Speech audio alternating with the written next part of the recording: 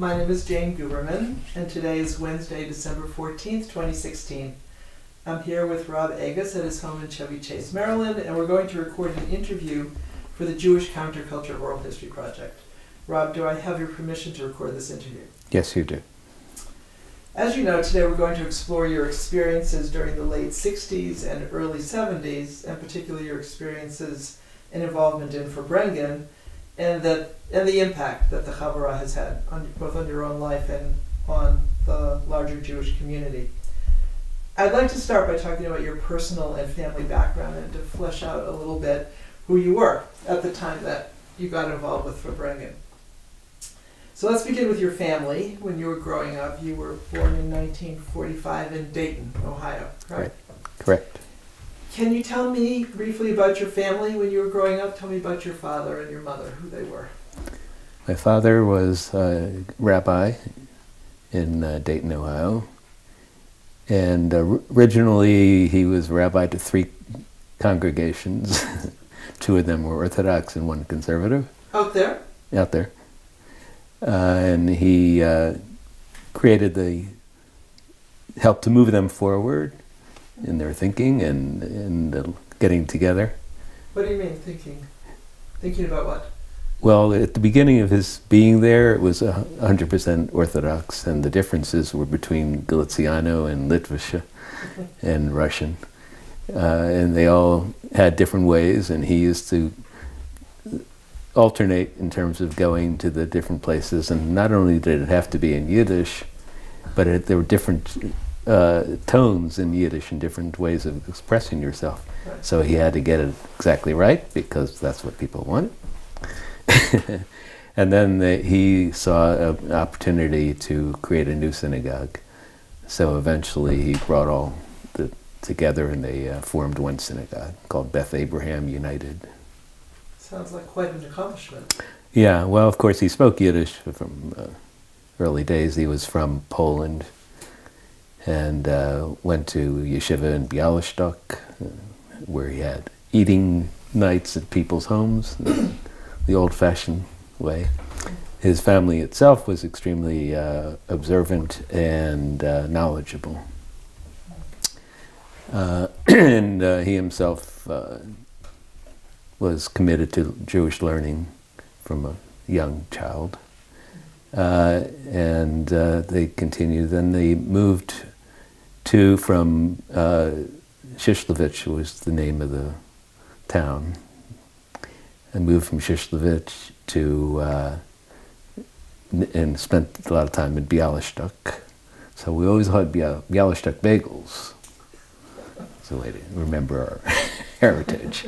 Yes. So, uh, which has gone out of business, you know, Bialys. When they started calling them Bialys, that's when it got destroyed. The Bialystok has a bagel, so that's Anyway, uh, so the uh, family moved uh, to the United States, but first they moved to Palestine. And, uh, and, they like to tell a story of how when they got off the ship, they fell to the ground and kissed the earth, the, the holy, the about? holy land.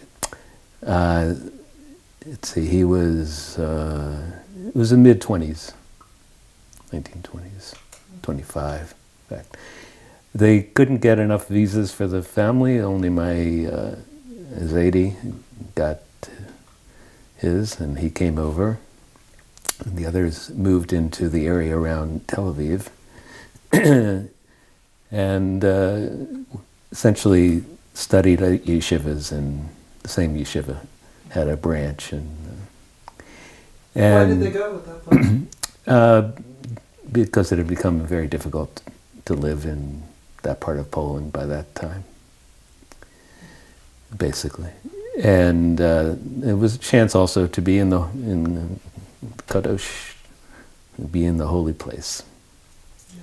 They were Mizrahi type uh, people. So anyway, uh, the my father, my grandfather moved to New York. Uh, he came on a passport suggesting that he was a rabbi. Why did he leave Israel, Palestine at that time? Well, the goal was to come to America, uh, after they'd been in a little while and they realized that they, they were not people for the earth in the sense of being farmers, and it, it wasn't for them. Um, but it was difficult. You couldn't get a visa right away. You had to have meet various conditions. So when conditions were met, they were able to come, move to Brooklyn, and uh, he had a, a shul that he was the, the, rabbi of for a little while. What decade are we talking about now? The late twenties. They came in 1927. The family came, which is when, of course, Babe Ruth uh, hit 60 home runs.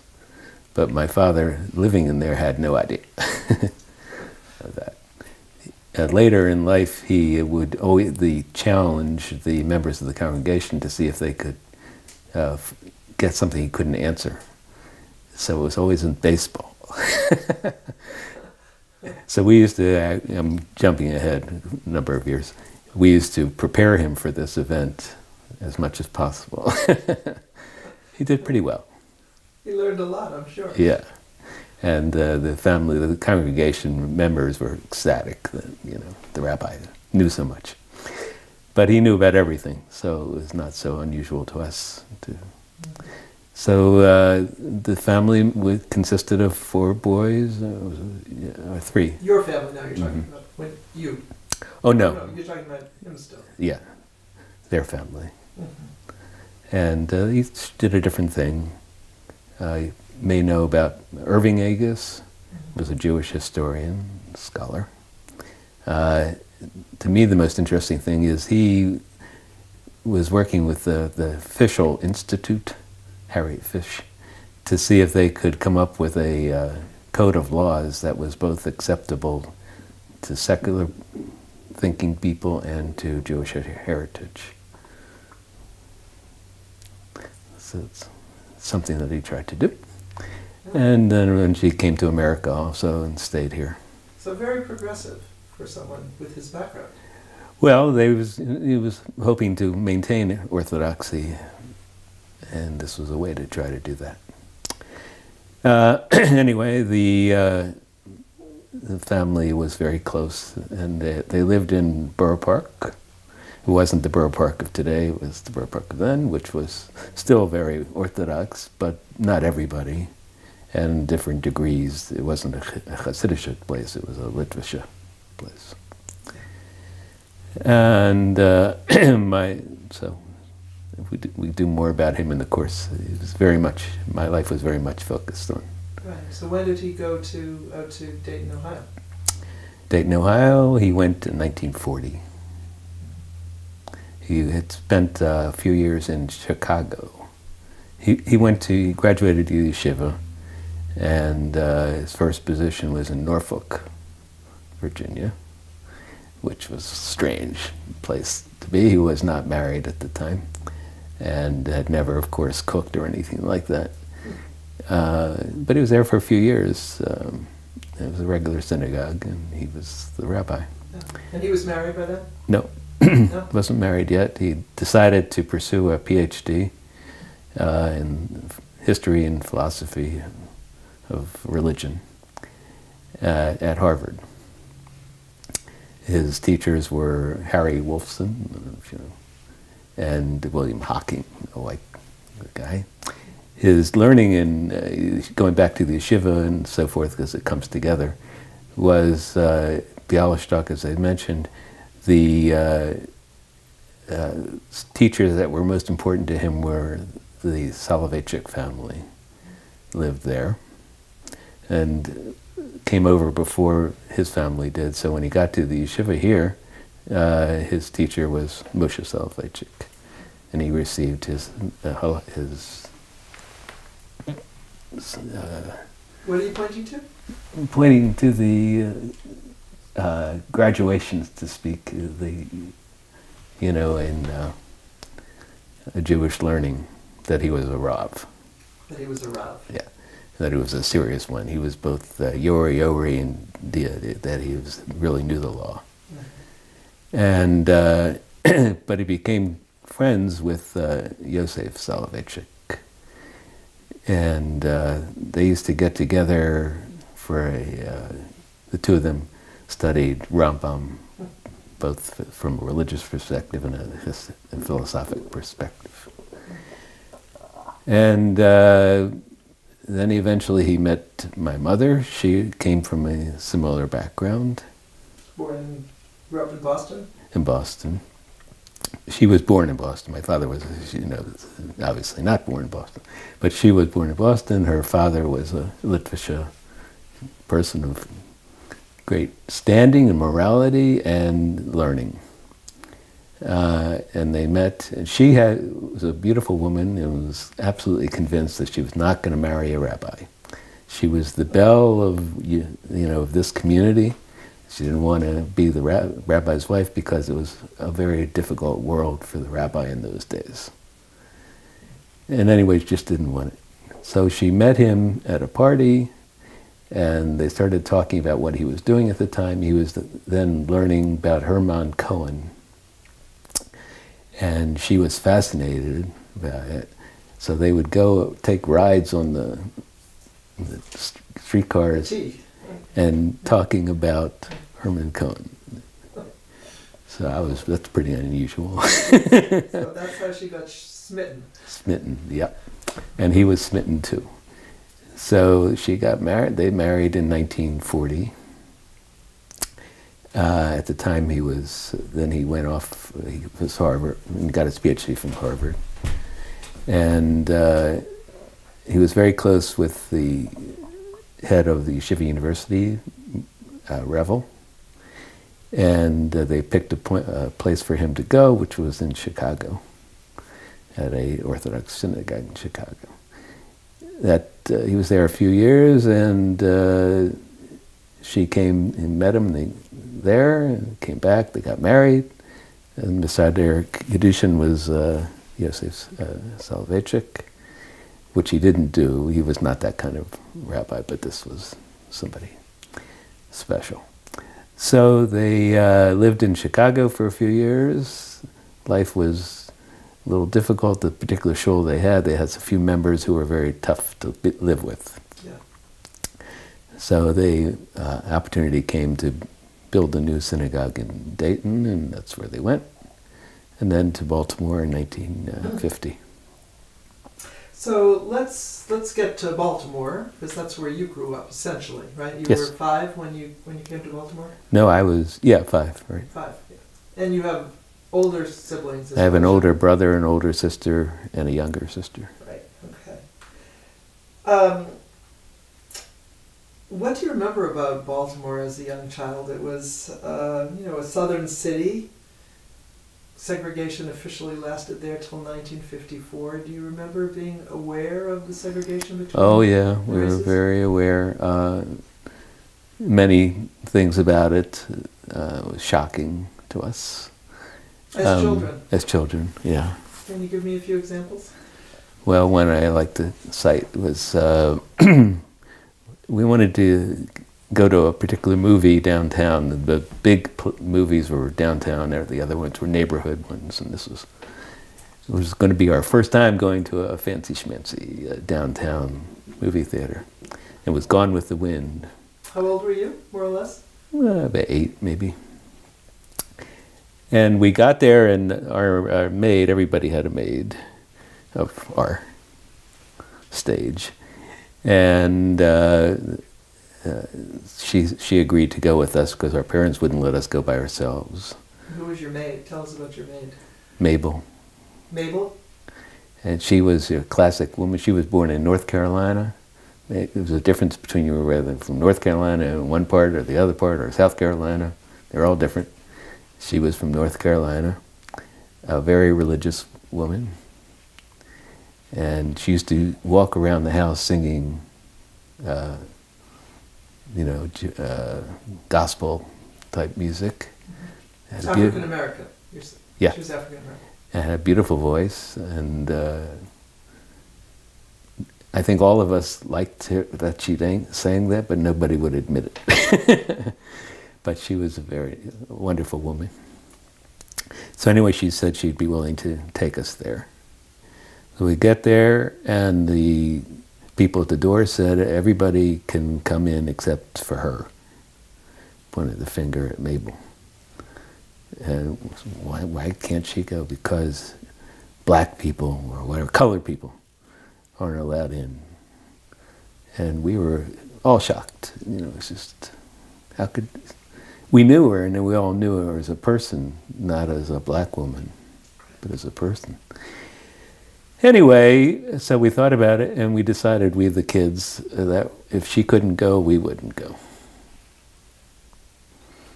So we went away. It was a big deal because we wanted to see that movie, Gone with the Wind. But how did she respond when you did that? When you children decided that? She was unhappy because she wanted us to be happy, but we told her we're not going to go without you. But that was a first time, and then I remember a lot after uh, Brown versus Board of Education.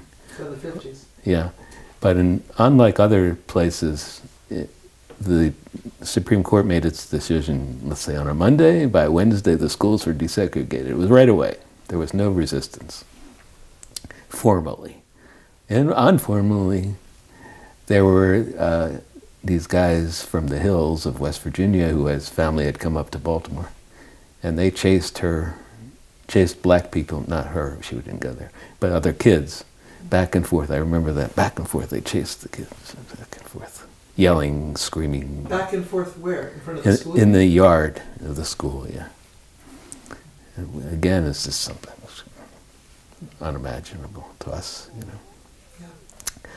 Was there discussion about it in your home? Yeah.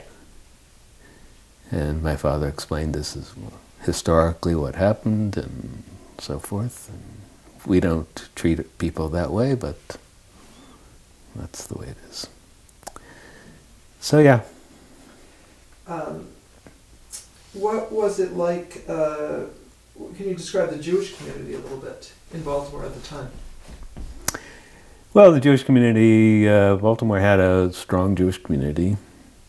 Um, the strongest part uh, at one point had been Reform Jews, actually, but that wasn't the case when I was there. There were there were several large Reform synagogues, temples they called them. Um, and we, really didn't know people that lived, that went to there. it was a very selective community. We knew certain people, we didn't know other people. And there was also a show called the She'erit Zaplita, the remnant of the destruction, the people who came from uh, the Holocaust. What was it called? Uh, its real name, I don't. In fact, I didn't know anything about it. Uh, except it was these very odd-looking people who were very deeply engaged in what they were doing. They weren't interested in talking to us. We weren't interested in talking to them.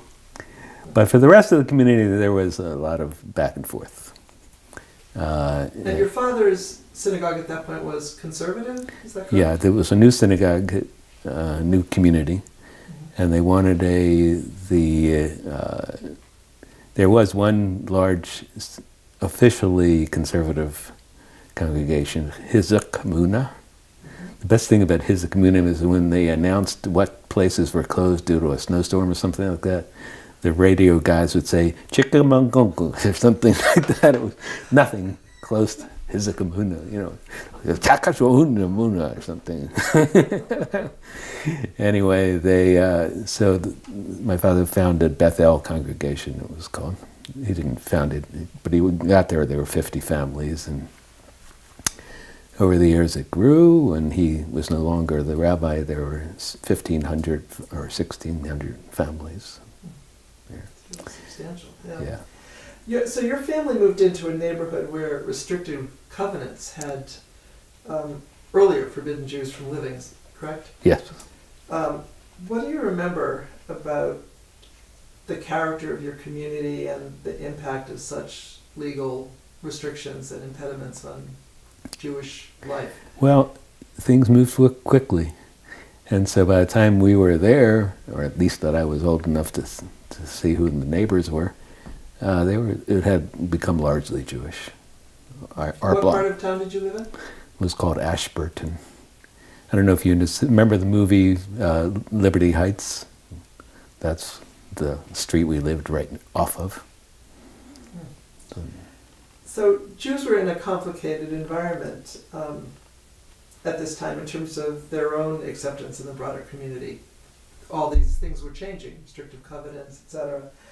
And they were, in your words, of mixed opinions regarding racial segregation. Well, there were some people whose whole family was from Baltimore, and in that sense, Baltimore is still kind of a southern place. So, uh, and then there were other people like us from New York or who here or there who didn't imagine that you'd be live in a place like that. You know. Would you say that the growing awareness of the Holocaust and what had happened to East European Jewry affected Jewish attitudes towards the rights of people of blacks and, and, and others during this time? I'd like to say that. I don't think that had anything to do with anything. Not quite. No. Not yet. Okay. Um, so, as you've been saying, your father was uh, an ordained Orthodox rabbi with some rather, in a sense, unorthodox ideas about um, halacha and Jewish practice, and he actually went on to serve both Orthodox and conservative synagogues in his career. How, how would you describe the Jewish environment in your own in your home when you were growing up? Well, we certainly knew we were Jewish very much. Um, it was important to to him and to my mother that we learn secular material as well. View ourselves as Americans. We did. Certainly saw ourselves that way. But at the same time, we were obviously Jewish. Uh, those are the people we knew. We didn't know non-Jews. The, as kids, we didn't know them. Mm-hmm. In, the, the, city itself, it, you, it wasn't a problem, but and it wasn't a problem for us. It was just what it was, and we actually liked it. it was, you were safe everywhere. It was you knew most of the people from the show, you know, uh, and um, the kind of Judaism that we learned was very intellectual, as well as the normal practice of being a mensch. Um, but people were mentioned in different ways. Uh, there was one guy who was the owned a, business that had uh, smoked fish. And we knew it when he had to visit.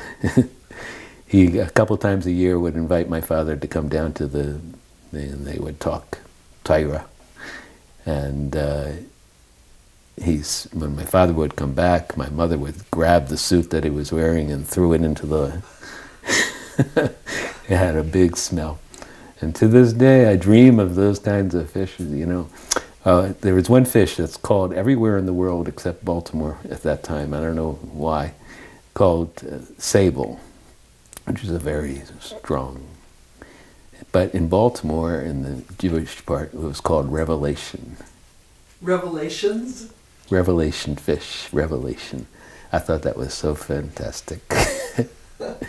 and made in my mind the whole concept that this, we're eating this fish and we're becoming closer to God from this fish and the herring and the smoked, you know. So uh, things like that made you feel very happy. Was a happy life in that sense. You would go to different bakeries for different types of bread. My son is uh, following those habits. He's uh, very oriented to what different opportunities for tasting things and things. And we all did. My mother was a wonderful cook. And, uh, but there was one night a week when Mabel, the maid, would uh, cook uh, some ch fried chicken. It was very good. Did, did Mabel cook um, sort of Jewish dishes as well? Uh, no, no. So your mother cooked? Yeah.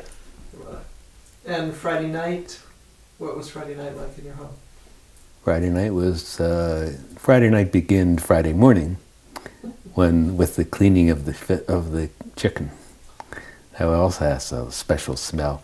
We used to come right out heading to school, and with the smell in each of the houses was of chicken soup and roast. At least it felt like it felt like it was everybody. I'm sure it wasn't, but it seemed that way.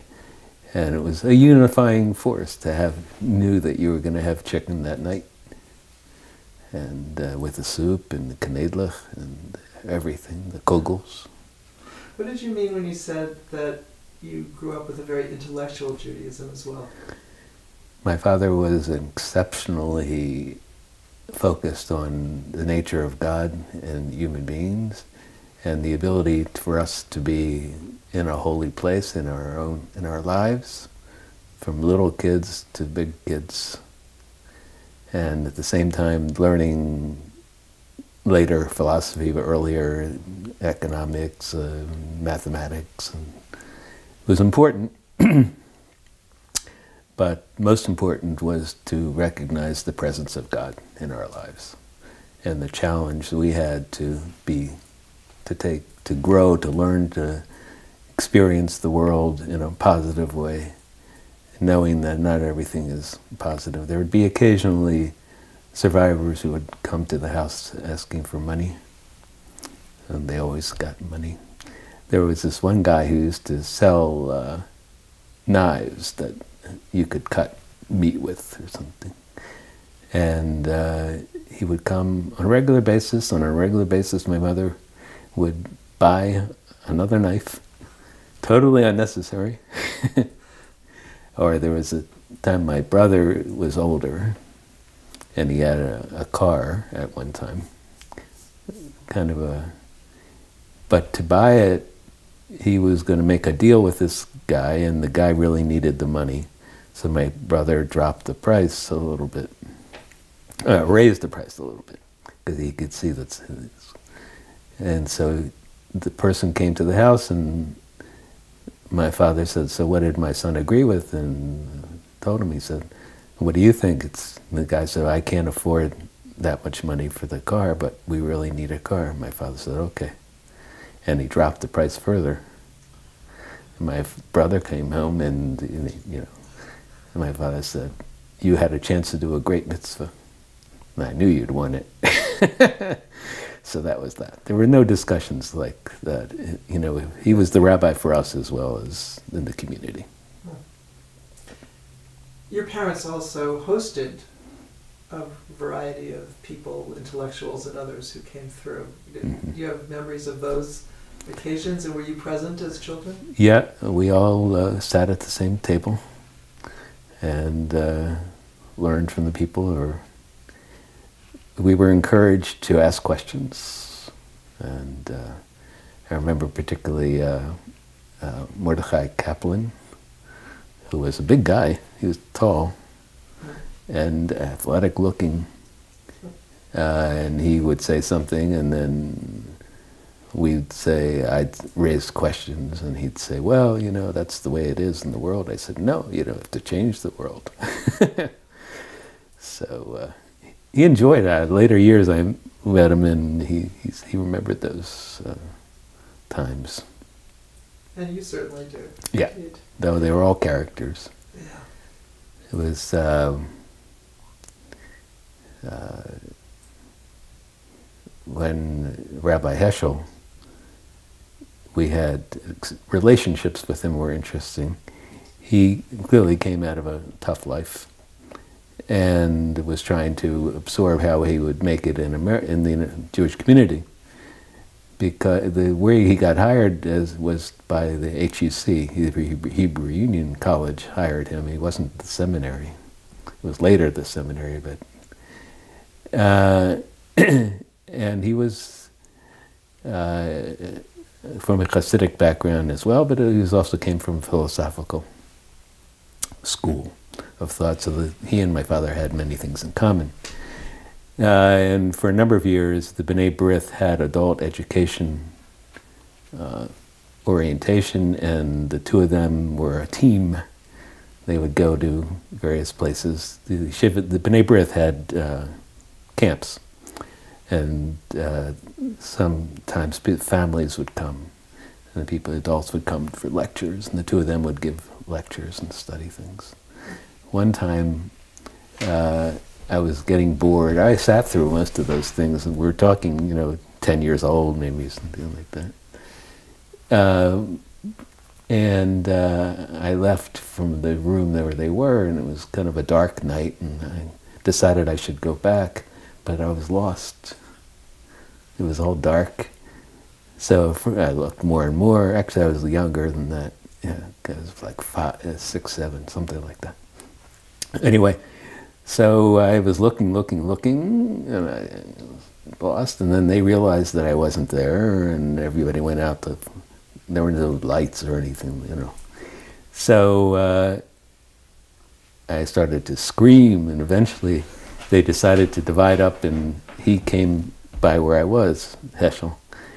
And uh, you remember, I don't know if you knew, he had this big hair.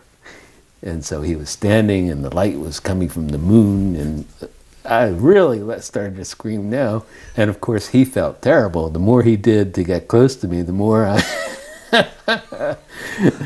he, ne he never forgot it. Every time I saw him later on, he, he did it.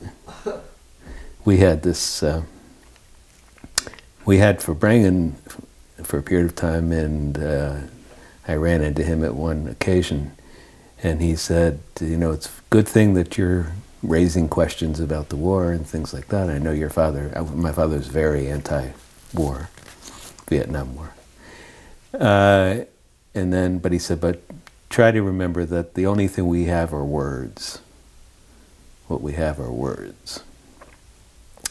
And uh, you should listen to your father and you know, absorb and, and, and, try to get your, your cohort, meaning the Farbrengen people, Jewish observe, uh, opponents of the war. To remember that even though you're doing a good deed in opposing the war, you have to be careful of the words you use, because that's where that's what our power lies in. And as long as I'm talking about that, I, uh, one time my father came home from a visit to New York because he had been told that Heschel was very sick. And he got there to see him, and they talked for a while. Then it was clear that Heschel was in bad shape.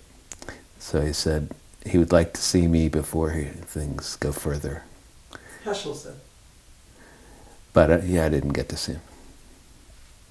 So I always wondered what he wanted to tell me.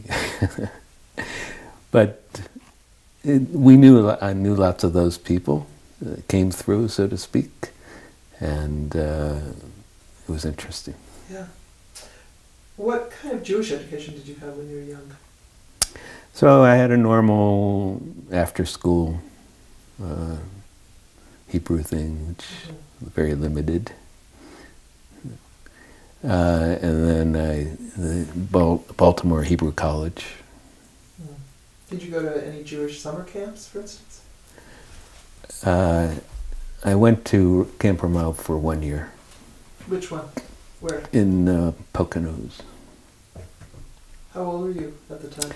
Actually, I was. I just finished uh, high school, so I was in a program called Mador, Mador or something. What it was called. Did it have any impact on you? Had you ever been in that kind of an environment before? Well, we, as a family, we used to take vacations. Uh, I was telling you before, there's our picture of the shul in uh, Loon Lake, New York. In the Adirondacks. In the Adirondacks, and uh, it was it was a wonderful. It is a wonderful and was a wonderful place. Uh, my father wrote a number of his books sitting in the porch. So you're saying you experienced. So that was an ex- yeah in that environment in a traditional, very traditional background. We were the only non-orthodox. you were the only what? Non-orthodox family, so to speak. It's very, mm. but it, everybody took care of everybody. It was wonderful. Yeah. Um, so and it is wonderful. It's still going on. So, what would you say were the most formative influences on your Jewish identity when you were growing up? Well, just being in the house was. Yeah. yeah. Sounds like your father was. My father and my mother. Uh, my mother was a graduate of the Boston Hebrew Teachers College. She was the number one. She was the highest ranking. Uh, there were lots of men, not too many women, but she uh, was the person and, and my father, of course. And she went on to teach, is that right, in Jewish schools? Well, she uh, went, she graduated and they got married, basically. So she was the principal of the schools at, in Chicago and in Dayton.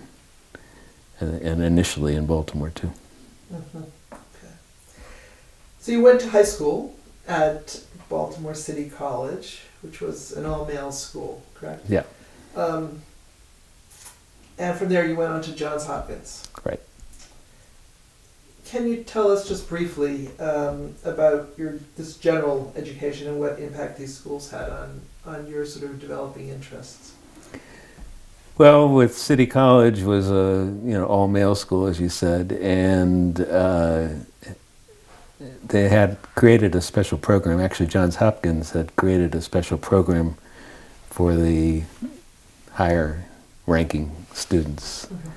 called the A course, which meant the advanced college pre- pre- preparatory school, something like that. Anyway, as an example, we took Latin for four years every day. That just was not done anymore. That's what it used to be, you know. But that's the kind of we had, and we had teachers who mainly taught mainly just in the A course.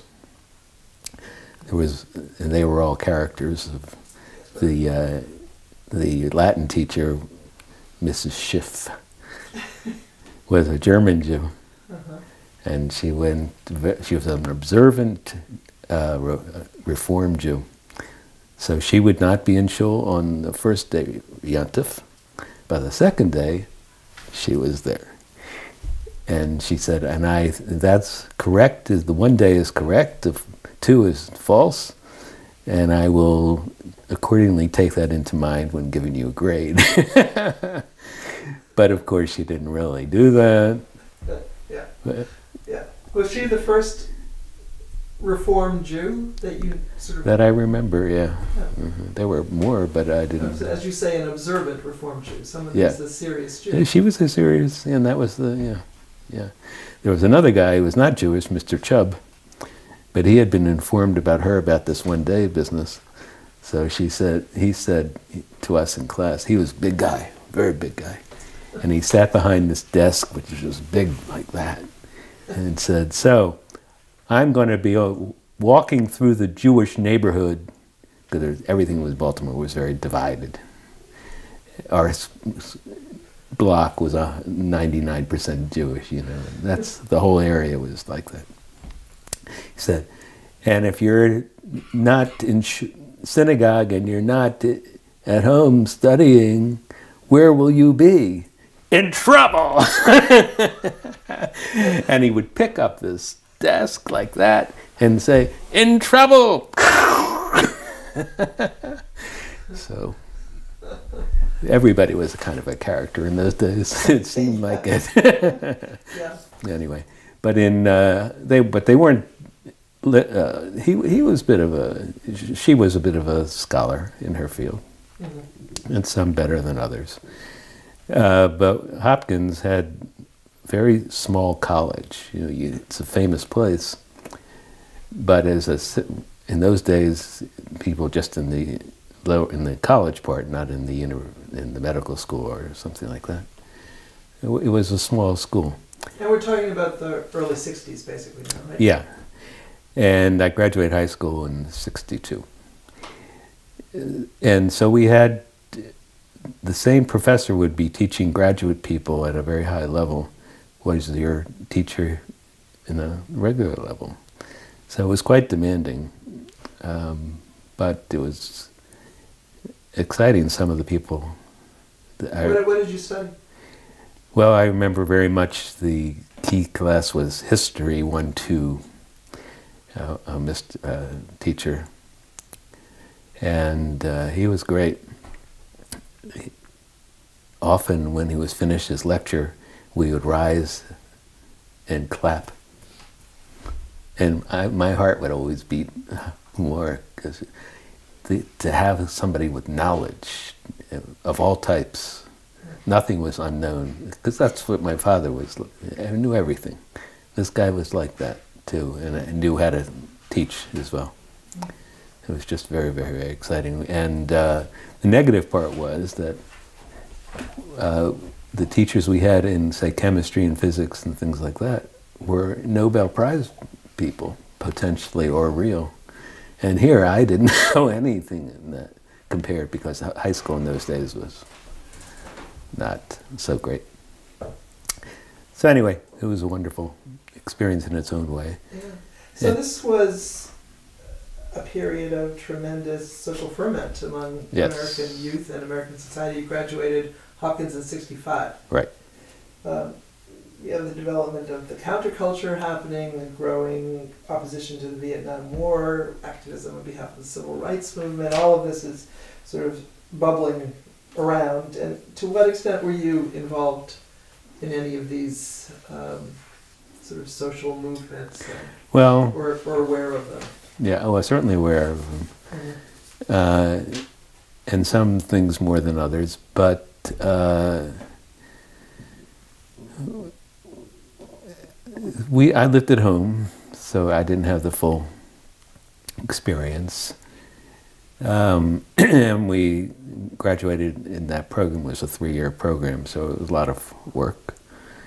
But I was very much aware of what was happening, and uh, started off uh, not being opposed to the war. I, it, when those days you were educate the educated people were supporters of presidents and things like that. It was the nice thing to do.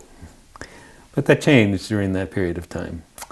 And after Kennedy was assassinated and we had Lyndon Johnson, uh, we were quite aware of the difference. I remember when he, several times he came to campus to make a presentation on support of the war and support of this and support of that, because that was the, Baltimore was the big place that was not Washington. And uh, I remember shaking his hand. He had quite a grip. and he was a big guy. Right? He was a big guy, yeah. And uh, we were beginning to become anti-war, and by the end, uh, you know, I was part of all kinds of organizations to fight the war. Such as what? Students Against uh, the War, you know. And were there protests happening already? Yes. On campus? On campus there were. Yeah. yeah. Not so much in, in town, because the local political hacks were were hacks. They weren't concerned about issues. Yeah. They were concerned about uh, uh, blacks in the city and such, but that it didn't wasn't so great. It became big deal. But the war and things like that were important, yeah. And were they being discussed? Yes. Within your family? Yes. Uh-huh. And what was the attitude within your family? My father was a leader in the anti-war. Already, sort of in this early period, yeah. Um, so after graduating from Hopkins, you went to Yale for law school how did you decide on law school? And what interested you about the law as a career direction? Well, I wasn't thinking so much of career, I was thinking of learning. and uh, from my understanding of law, could be really at that point was Jewish law, it dealt with life and uh, goals, and we talked about before, you know, God's place in our world. And there's the secular but the secular is affected by the religious. Plus, it was well known as the best law school. So I wanted to be at the best. I didn't think I'd get in, but uh, I, I, did. So it was very exciting. Um, so when you arrived at Yale, were you already committed to the search for a process for social change? Yeah. I was going to see how the law could be a, a force for, for change and uh, address issues that were important. And what did you find? I found that the world was not just only little Baltimore or the professors at, the, at Hopkins. It was all kinds of people. But uh, I had this wonderful experience where the first day that we were there, we were invited to a big dinner, a fancy schmancy dinner. But I couldn't eat anything. So. Uh, because it wasn't kosher. Because it wasn't kosher. And um, there was uh, there, no alternative. You know, this is what it was, and it's what it was. So I could have water, and it sounds so pathetic, but um, I was actually so interested in the fellow people, and everybody was fancier than the next, and more interested in this or that.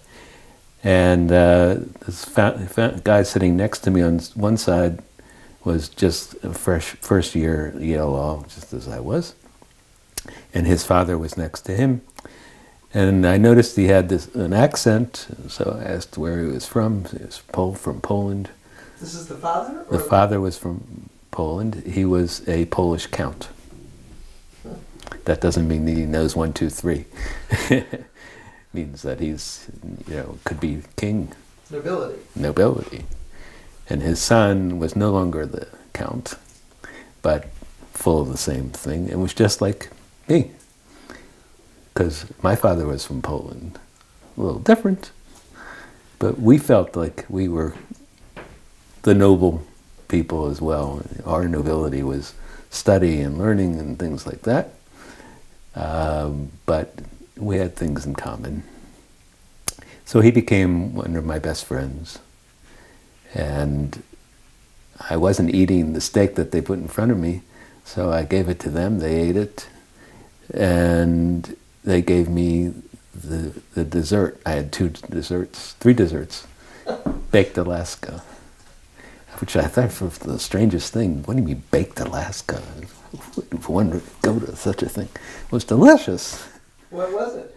It's uh, ice cream covered by meringue and with a chocolate sauce in addition. So something to really uh, stick your teeth into anyway, we became close friends, and I uh, I helped him through. He was not used to studying. He went to Princeton, but he didn't study though you had to for law school. Law school was actually pretty easy.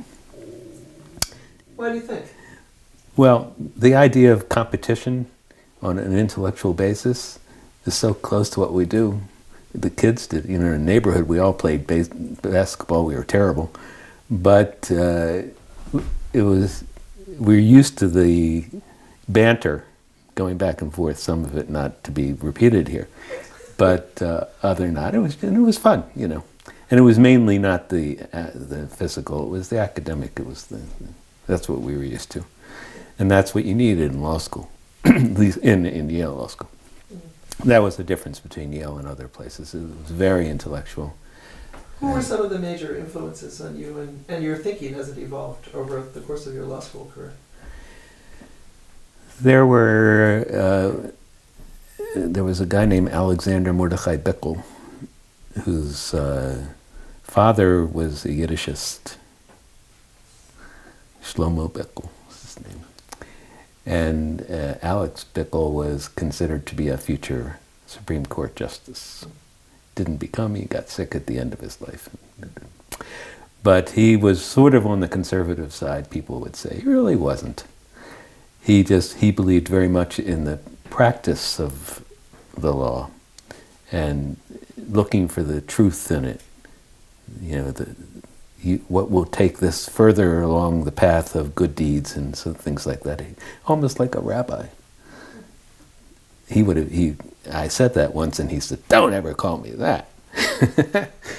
but it was a wonderful moment once. You know, when you prepare for Pesach, you bring all the chametz, and together you bediket chametz. You search for the chametz that you've already buried, and uh, then you burn it when you get it. So we, I decided to do this in the courtyard of the law school which is this medieval looking structure. so he was walking by from one building to the next. I walked over to him. He looked up at me, and I said, Alex, new, it's time for Biur Chumetz.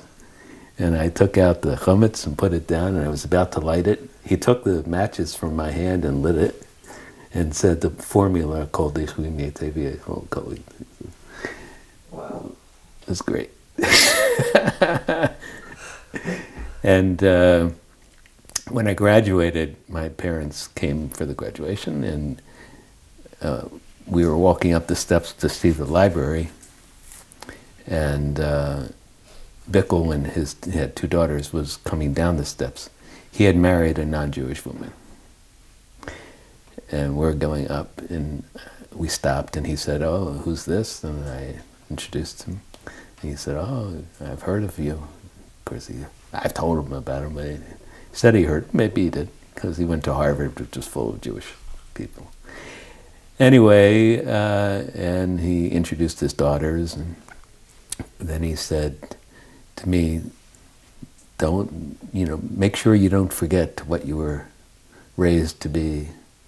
And was, then he said, "And it was a mistake that I made." And he began to almost cry. You could see he was thinking, you know, on the verge of tears. And my father said, "And I've heard of you, and you have great uh, honor and glory that you bring to this school." I wanted to ask you about, he asked about a case. Bickel smiled, he was at home. That's his thing. So he was one person. Then very different from him was a guy named Charles Reich. who wrote a book called The Greening of America, which was a bestseller and considered a big deal. And uh, he was a liberal, very much a liberal, and Bickel was a conservative. So those were my two advisors. uh, and one of them uh, was involved in what became Farbrengen. In that he, I wrote a, a thesis called the New New Community. At Yale. Mm-hmm. The law school, and about how the whole idea was to try to again, bring values to the table, make everything unified in terms of a common concept of what the world could be and isn't, and that in, and talked about many different fields. Uh, he was a genius. And who was your advisor for that? That was Charles Reich. Charles Reich. Yeah.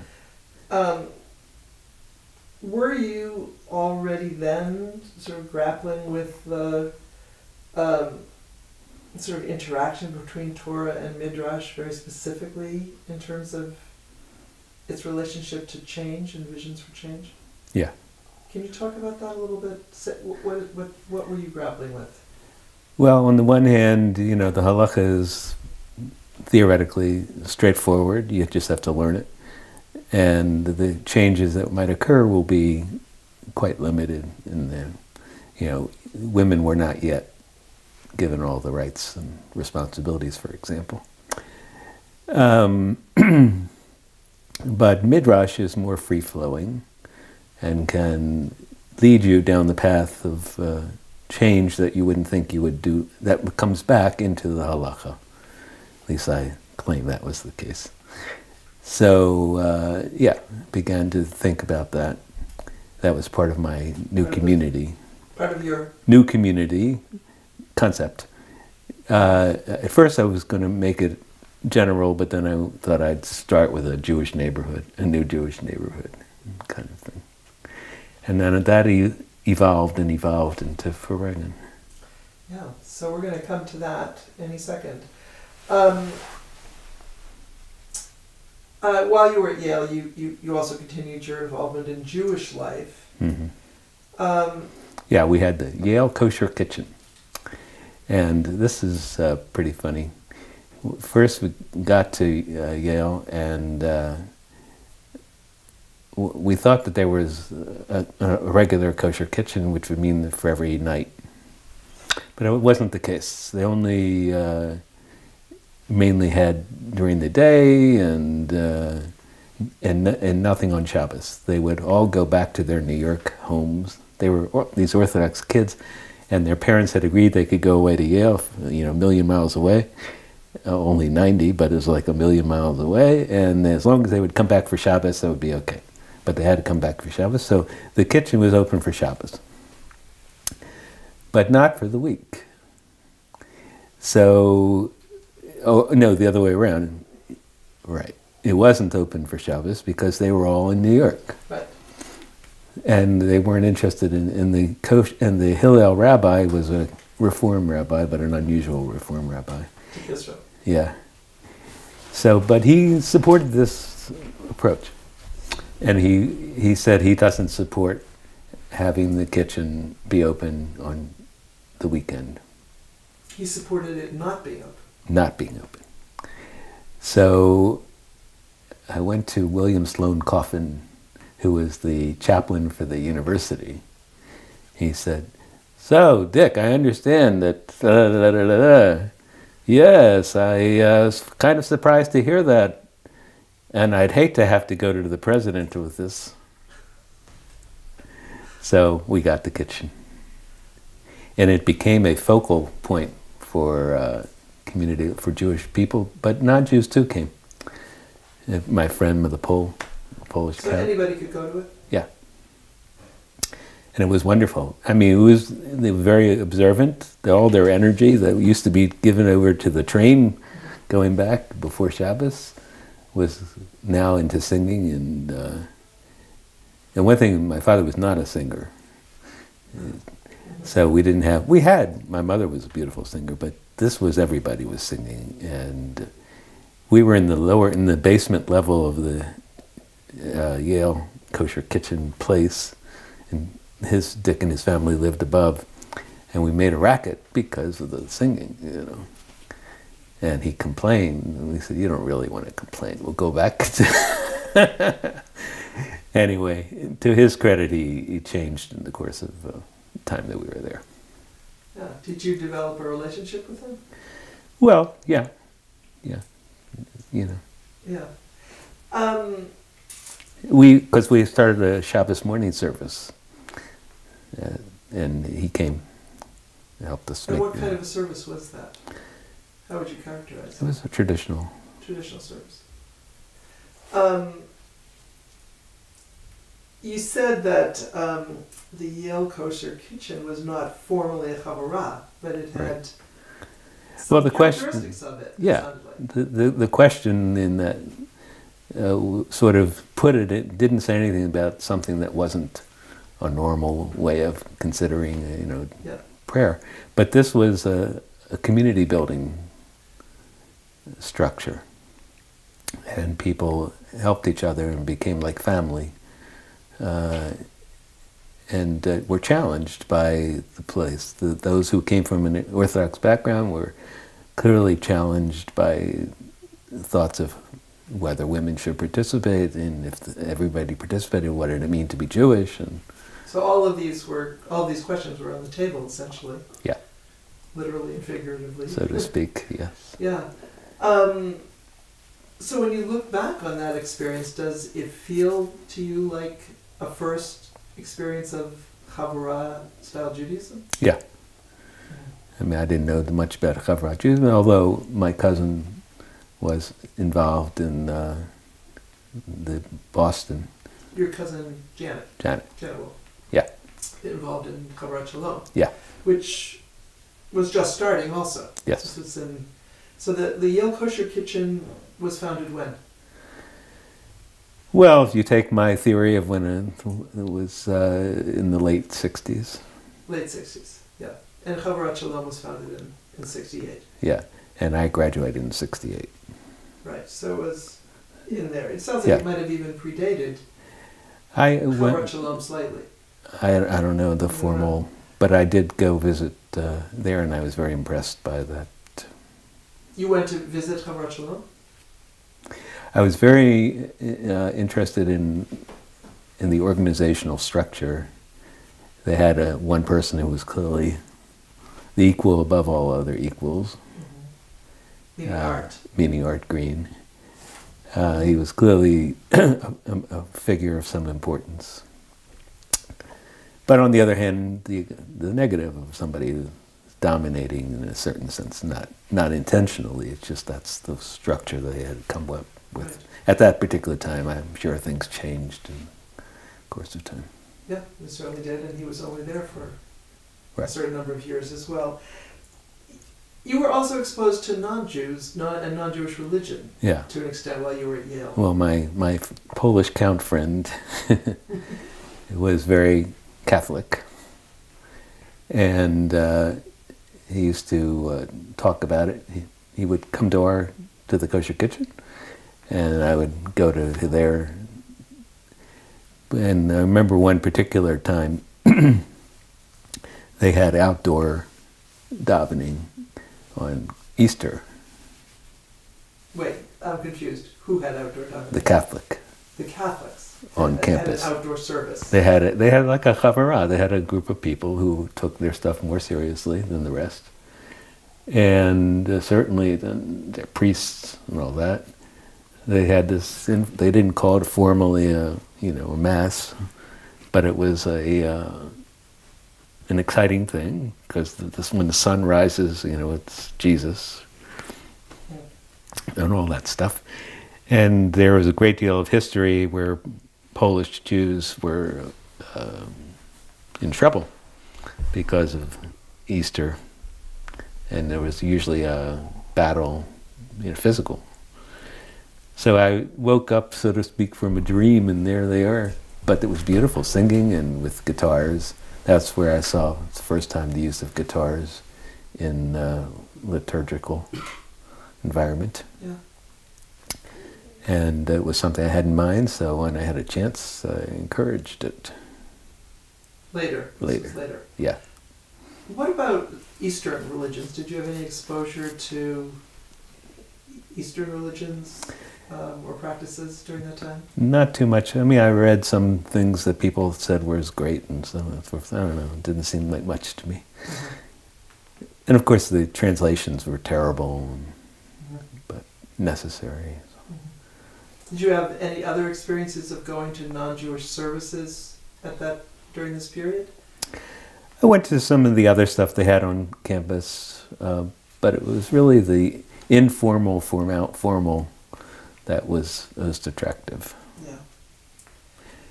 Um, so I wanted to get your reaction to uh, something that Rabbi Benzion Gold said. He was the director of Harvard Hillel at the t- at this during the same period, um, and he was talking about the role of religion on campus in the '60s, and he, he said that faith in what he was calling a quote civic religion was really shattered during that decade um, because of the Vietnam War, because of the civil rights movement, counterculture, and also other things that were happening in American society. We, several assassinations of key people, the president, Bobby Kennedy, Martin Luther King.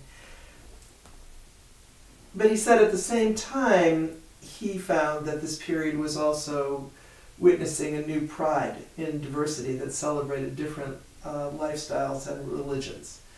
So I'm curious how you respond to that and how that sort of resonates in terms of your own experience of the role of religion and religious life at Yale during this time.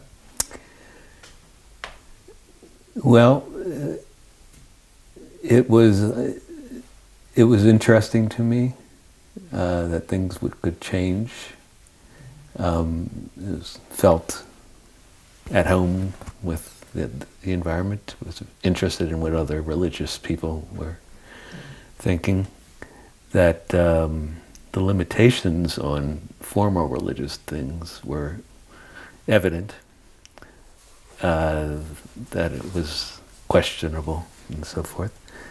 But uh, on the same time, it was, uh, you know, there were people from the South who had great nigunim, and uh, and concerned about making the world better.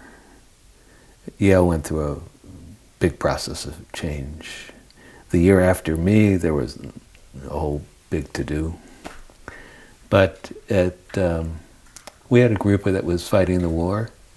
We had protest movements, and. Uh, and who's the we when you say we had? People who had come together, who had religious orientation uh, and also the desire for change. But not necessarily only Jews. No. Uh, however, there was a time, um, the last year I was there maybe, and uh, President Johnson had taken a Yale law professor and made him one of the assistant secretary of state. And I wrote him a letter. What was his name? His name was Rostow, uh, Eugene Victor Rostow. Eugene Victor, if you know American political history, sounds like Eugene Victor Debs, who was a a uh, pacifist almost and a person who dealt with problems in a real sense, uh, sort of as a political thing. Anyway, uh, Eugene Victor Rostow, or Dean Rostow as he was called, was very well known because he was the first, one of the first people to be, Jewish people to be a dean at the Yale Law School. And then they had nothing but Jewish people. but he was, he went for two terms. And he was nominated to be the assistant secretary or secretary of HUD, of State Department. And it was clear it was just cover, cover for the president. He wasn't interested in what Eugene Victor Rostow had to say, or Walt Whitman, his brother Rostow. You could see the father was a bit so socialist. Uh, so I wrote him a letter. Him, Rostow. Rostow, which was Erev uh, Yom Kippur, and also heir of him becoming this new position in government. So I said this was an opportunity to make tshuva for you and for the president and change the orientation and stop this stupid war and killing people and things like that. And uh, I showed it to a friend of mine and there, and he said it was great, and I said, oh, anyway. I came back a couple hours later into this community room and I saw up on the wall something that everybody was looking at and signing.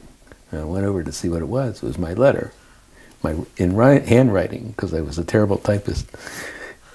And it became everybody came by and just now to sign it. They heard about it. So a day or two later, the New York Times had an article on the front page. Yale Law School says, stop the war we didn't stop the war, but we did affect a lot of people. A lot of people remember that, and uh, yeah, you found a vehicle and a voice yeah. for um, your position. Yeah. So you graduated in '68. Yeah. Right? This was a period when anti-war activity was coming to a head on many campuses, and it was also a period when anxiety, anxiety about the draft was rising exponentially. 69 was when the first lottery took place in December of 69. Um, and that was a year, the year, six, six months, a year after you had graduated from, from law school. Uh, what was your personal situation regarding the draft, and how did you feel about it? When I was uh, seven years old, I uh, had an accident and pushed some of the parts of my body in the wrong place. Wasn't recognized as, as what it was. And later I had uh, an operation on my back to straighten the spine, something I had. So you weren't concerned? No way was I going to. so it wasn't a personal concern? Well, the funny thing is about it, uh, I did get the notice to appear before the to draft board? draft board and to, to take a test. And they told you when you got there that if you didn't do very well on the test, it would prove that you did this deliberately and you'll be taken to building D and sent immediately to Vietnam, which was a joke in some sense, but not much of a sense. So I knew there was no way, no, no possible way. I was 4F 100%. But it's amazing how your body and your your mind take hold of it. And I was until they. So anyway, I knew I was not gonna. I just knew it. But they said you go over here. So I go over there. Nobody else is going over there. It was the people who were going to be 4F. And the doctor closes the door, and is this little guy like that, and closes the door, and he says, "Congratulations." so anyway, so I knew I wasn't going, but it, even then, it was uh, frightening. Oh, for sure. Yeah. Um, I just wanted to ask you whether there um, were outside of your um, you know school environments, whether there were people whom you or events that you consider uh, to have been particularly formative influences on you during the '60s. Um, you've mentioned Sant Peschel, um, and other political figures or leaders. There are people who you feel made a particular impression on you and and your thinking. Well, as I mentioned in the law school, it was the two professors, very different, but both made a big impact on me. Charles Reich. The Greening of America was a bestseller. Yeah. Uh, and it, what about political figures? Were there people who were particularly um, made particular impressions on you? Bobby Kennedy. I worked uh, for uh, McCarthy first. Senator McCarthy. And then when Bobby Kennedy announced, I uh, changed my support to him. Mainly because I thought he would uh, win, whereas McCarthy was too uh, too full of himself to to win. So I was glad that Bobby Kennedy entered into it. I knew some people who were involved in that, and I was going to. I was on target to uh, work for him for his election, but of course he was assassinated. assassinated. And uh, I was watching it on the. That was just as you were graduating. A year after I graduated. So that was a big shock and a terrible thing. Uh, and I was watching him get ready to give his talk in Los Angeles. They were had the cameras because you know he's an important guy, and then all of a sudden he's shot. I mean, you saw it on the TV happen, and uh, it was quite something. But life goes on. Indeed. And so, so let, us turn now to uh, focus on how you became involved as one of the founders of Farbrengen and your experience as a member. So in 1970, uh, you headed to Washington for a job. Uh, yeah, I got a job. Uh, for my first job at a law school was with a in Baltimore, uh, and as a professor who uh, became an activist in the government. He, his job was head of uh, what was called Housing and Community Development, and I was the special assistant. So this was a very quiet little nothing uh, project, but we both came at it to change Baltimore, which was this sleepy southern-like town, you know, not totally, but enough. And there was uh, the political structure was pro-war and and uh, black people didn't have much opportunity. And this uh, housing was terrible for poor people. So we had a lot to do and uh, it was exciting it wasn't exciting after work there was nothing to in Baltimore in Baltimore it was not yet all the people say about Baltimore now, oh wow, you know, it's true, but it wasn't true then. So uh, uh, we worked on a lot of things. Um, one was kind of funny, uh, funny, but there was people. It, the law was in those days that if you complained about your housing, the landlord could uh, uh, kick you out So what kind of a democracy is that? You get so this uh, guy I was working with, his name was Bob Embry. Embry. Embry, E M B R Y, Bob Embry. Graduated from Harvard Law. And uh, he said, What are we going to do? I said, Well, we might as well write a law prohibiting it. He says, Well, you might as well write it. So this is first year out of law school. I write a piece of legislation called Against Retaliatory Eviction, Evictions. And uh, the, the, property owners of Baltimore, uh, which had about 21 members, 20 of which were Jewish, and 18 or 20 or something were from my shul, my father's shul. So, and we by chance, and we hadn't even realized that it just happened, and there they were.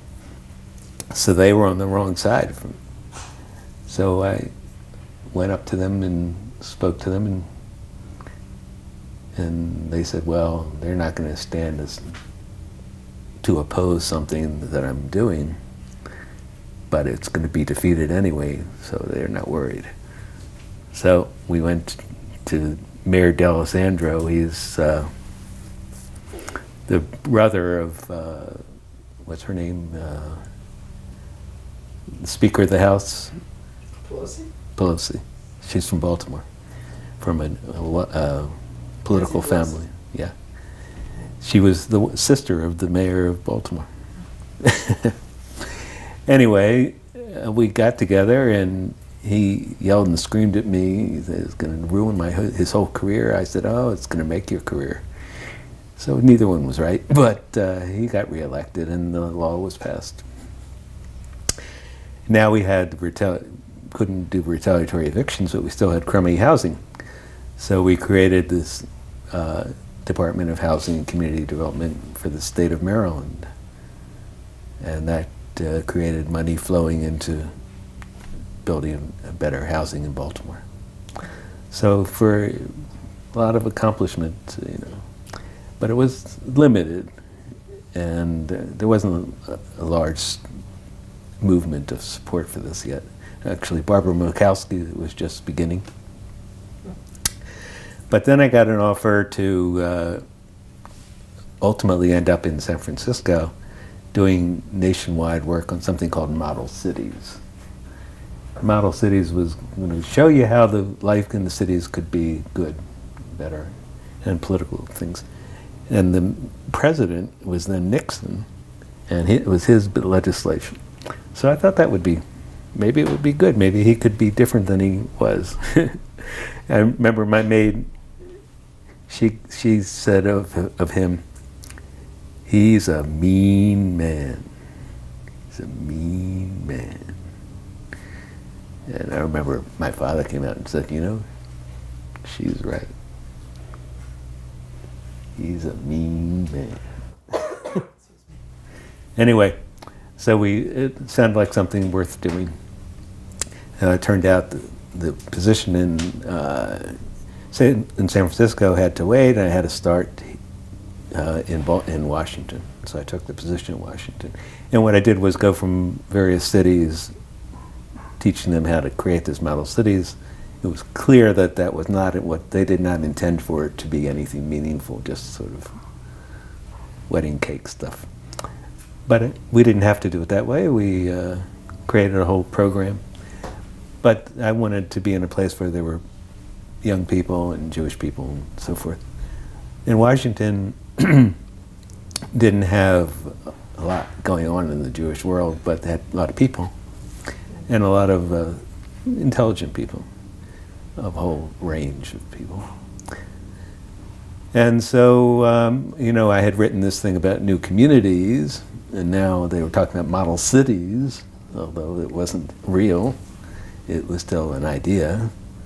So I put them together, and I wanted to do a new community again in reality and start off with a Jewish core, just because it was easier to do that. Jewish so people. So this was you were living in, in D.C. at this point. Mm-hmm. Had you been involved with or aware of um, Jews for Justice? Yes. Uh, Jews for Justice uh, I learned about and I went to. But it was very disappointing to me. Um, first of all, people didn't have any idea about Jewish stuff. I mean, they were Jewish, but they didn't really know any anything. They didn't have much Jewish learning. No, and they didn't have uh, the Ahavas Yisrael, the love of Israel, meaning the people, that I was accustomed to. But they were full of some were full of criticism and of the Jewish community. Yeah, which I thought was misplaced. So anyway, in the course, I so I spent about a year with them, and they also had no religious component. It was. So how would you characterize what JUJ was involved in at that point? It was very political, and uh, and doing the right things on it. Well, sort of. You know, they they, one of the people who was active in it was sort of the leader in it, I guess. Uh, so the community there had moved the Jewish Community Center from the heart of from the heart of the city to the suburbs. Because it was not safe was one reason that it was done, but also they wanted a new building and do a different thing. So whatever, that wasn't something that interested me, but that's what they wanted to do, so they did. So this guy handed out flyers saying, "You're on, wake up! You're on the bus to Auschwitz."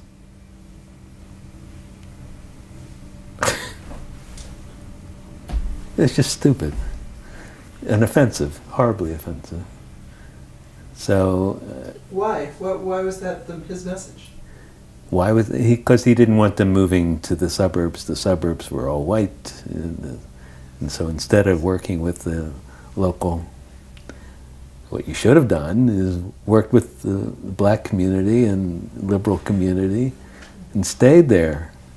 But they wanted. They went. They were, you know, it was just, it was just dumb, and it was a very offensive to somebody who had had. We all had people who were killed, and their misuse of the so that's basically. Then a few other people had the same problem. Uh, people within JUJ. Yeah, or on the verge of JUJ, and uh, so decided to take a shot. And brought in a lot of different people who went through different changes in their life. Arthur Waskow was certainly such a person. Uh, we became close, very close. But this was an example, actually. He did a, a model Seder, to use a term I would from kids, you know, called the Freedom Seder, yeah. which people thought was great in certain ways. And at first I thought was wonderful.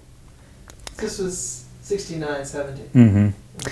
But then I read it more carefully, and it was, I thought, not what could be done. The Freedom Haggadah that he wrote mm-hmm. that became used for this mm-hmm. model Seder. Yeah.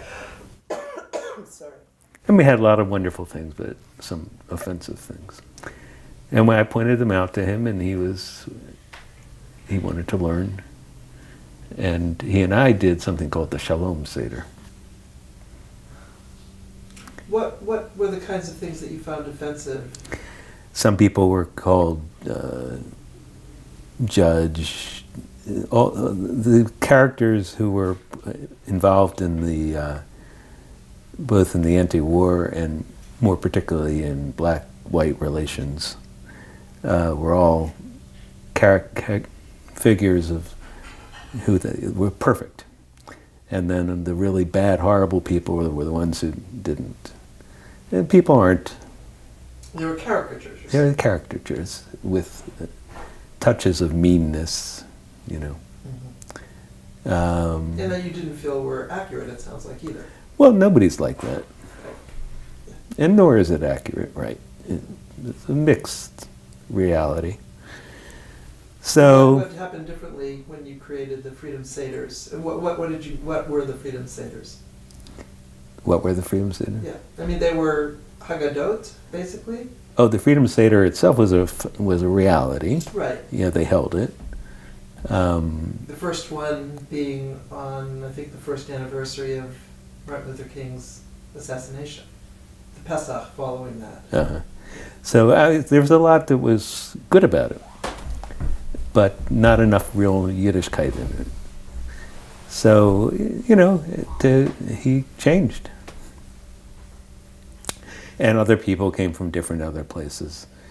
Um, so we wanted to try out this Jewish community business and went to the local UJA and said we need some money to do this. And no question, because of, uh, largely because of my father's reality, the presence, they took it seriously, and they gave us fifteen thousand dollars for the first six months. And who were some of the other people who were involved in, in sort of this early stage of thinking? David Shneyer, uh, very much so. One of the things, the big things that he did, he did a lot of things, but one is he brought uh, Shlomo Carlebach to the table. Shlomo I had met in Yale. He was brought down by the Hillel to do uh, something around Lag BaOmer. And he got there. By the time he got there, he was supposed to get there at a certain time. He got a couple hours later, three or four. It was raining. It was cold. It was miserable. And we started off with 10 people maybe, and the, but it, he did it in the courtyard of the uh, residential part of Yale. And he encouraged people to come down. Lights came on, windows opened up. People flowed down, Jewish, non-Jewish, make a difference. Uh, it was wonderful. And he just kept it up until the sun came out.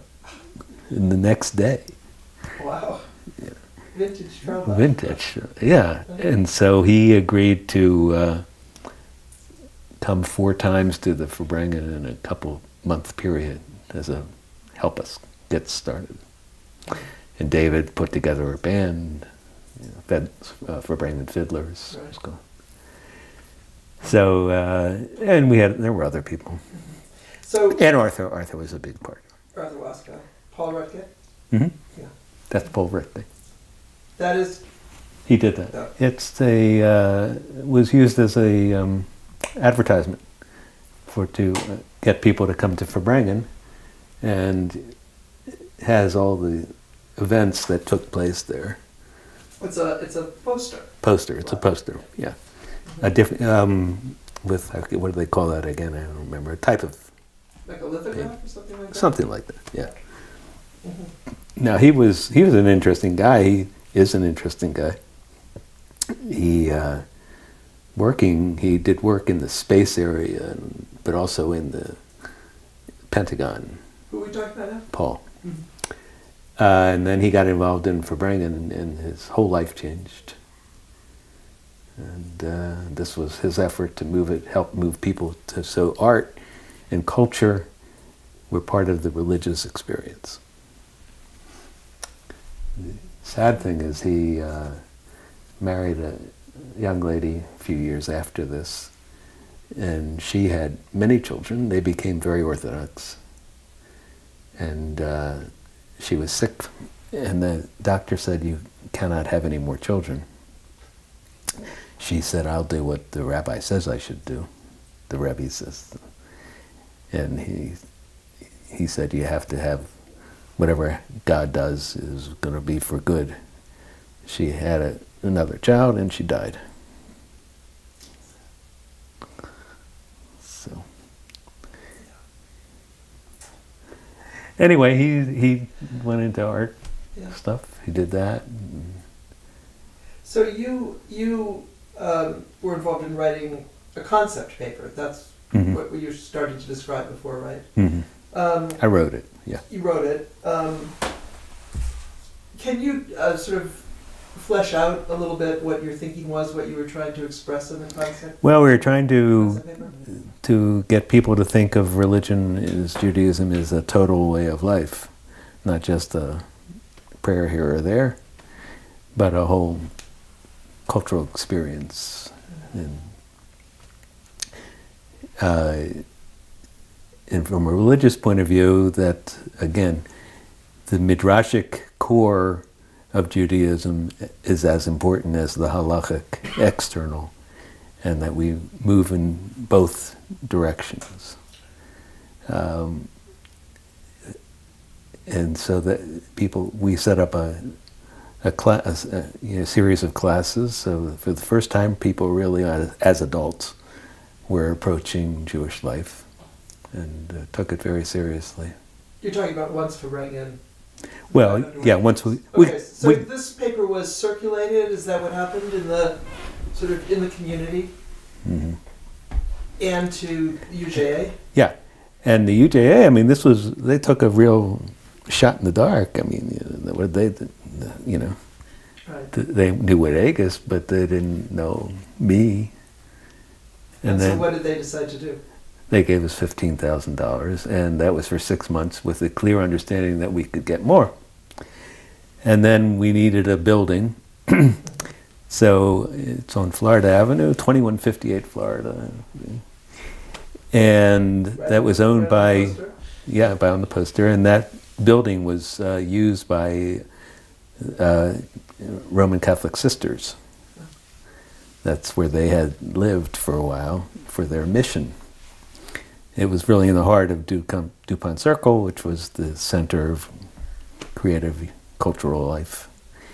And uh, they were so happy to be doing this. You know, they thought it was thrilling that we were making use of this facility. It was a perfect facility for us.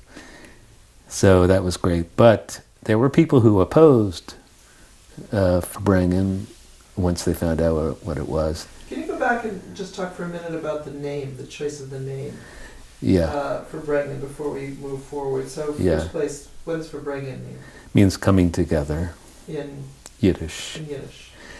So why that? Well, one thing we clearly um, we're community community and Farbrengen are the same thing in a sense. Farbrengen, though, makes you smile. That's true. And instead of a chavurah, chavurah, one of the things about them that is important is that it's focused on particular people, and it's limited. And and by that, I mean by chavurah at that point, we're talking about 1970, 71, right? Mm-hmm they were basically the New York Havurah, which had been founded in 69, mm-hmm. and Havurat Shalom, which had been founded in 68. Right. So those were the two models that were out there essentially. Right. And I thought they were too exclusive. They were membership organizations. Yeah. And they only let certain people become members. Not everybody could become a member. Which was, you know, well, okay. But it didn't have the chance of being the core for a, a major thing. And also, they were a little bit too uh, narrowly Jewish on certain things, from my perspective. Okay, we'll talk about that in a minute. Before we get off the word Farbrengen. Yeah, and it's also the name for the Yiddish, uh, Yiddish, in Yiddish, for the gatherings that the Lubavitch did. The, the Rebbe had a number of Farbrengens. you saw that in the. Yeah. yeah, we had to come up with a name quickly uh, and it, it, it, was a real thing, so it was a 501c3 corporation, and you had to get the papers and so forth. And in those days, it wasn't as easy to get it as it was then. Say that again? we, we, it, it was not as easy to get a 501c3 status that was anti-government, uh, as because Nixon was, you know, in charge of such things.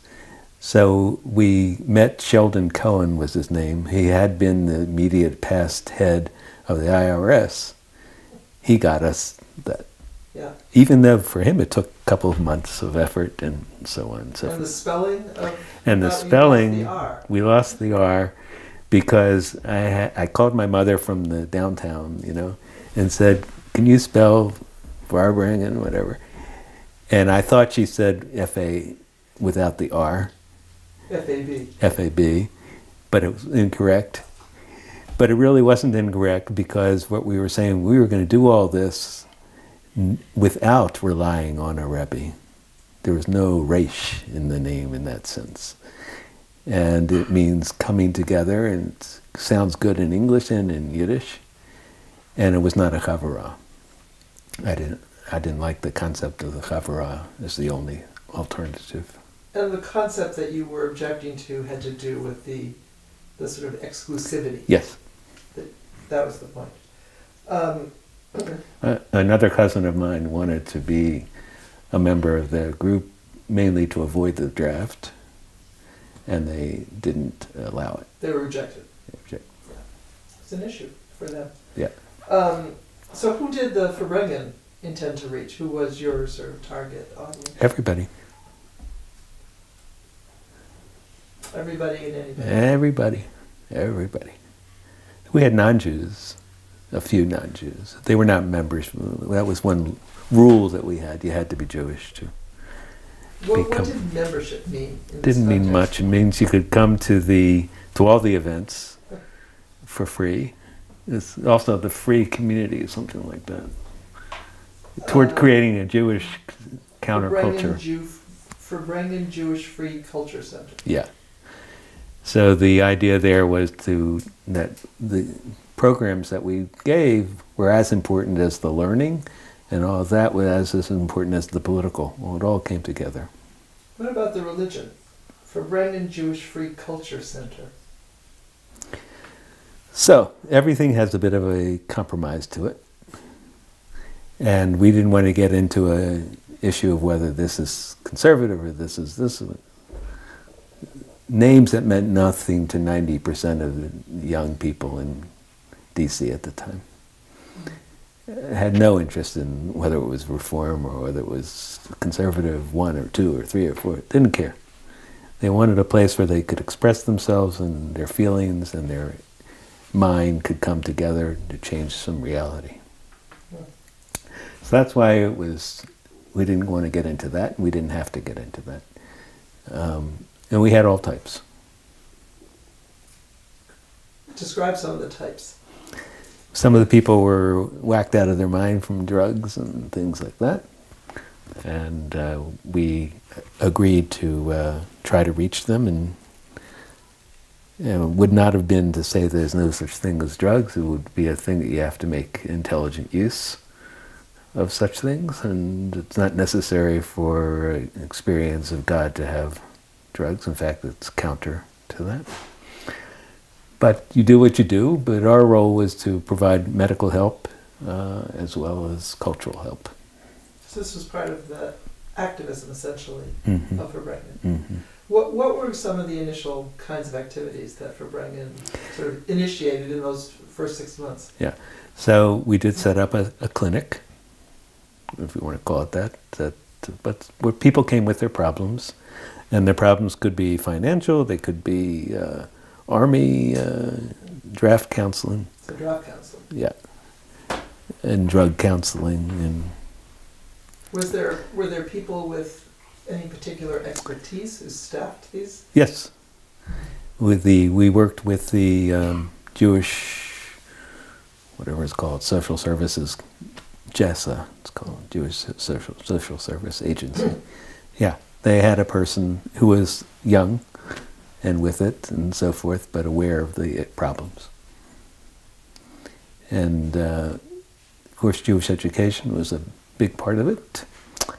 And uh, we had real people on that as well. My father gave a whole series of lectures about Martin Buber. He wrote, he was the first person to write about Martin Buber.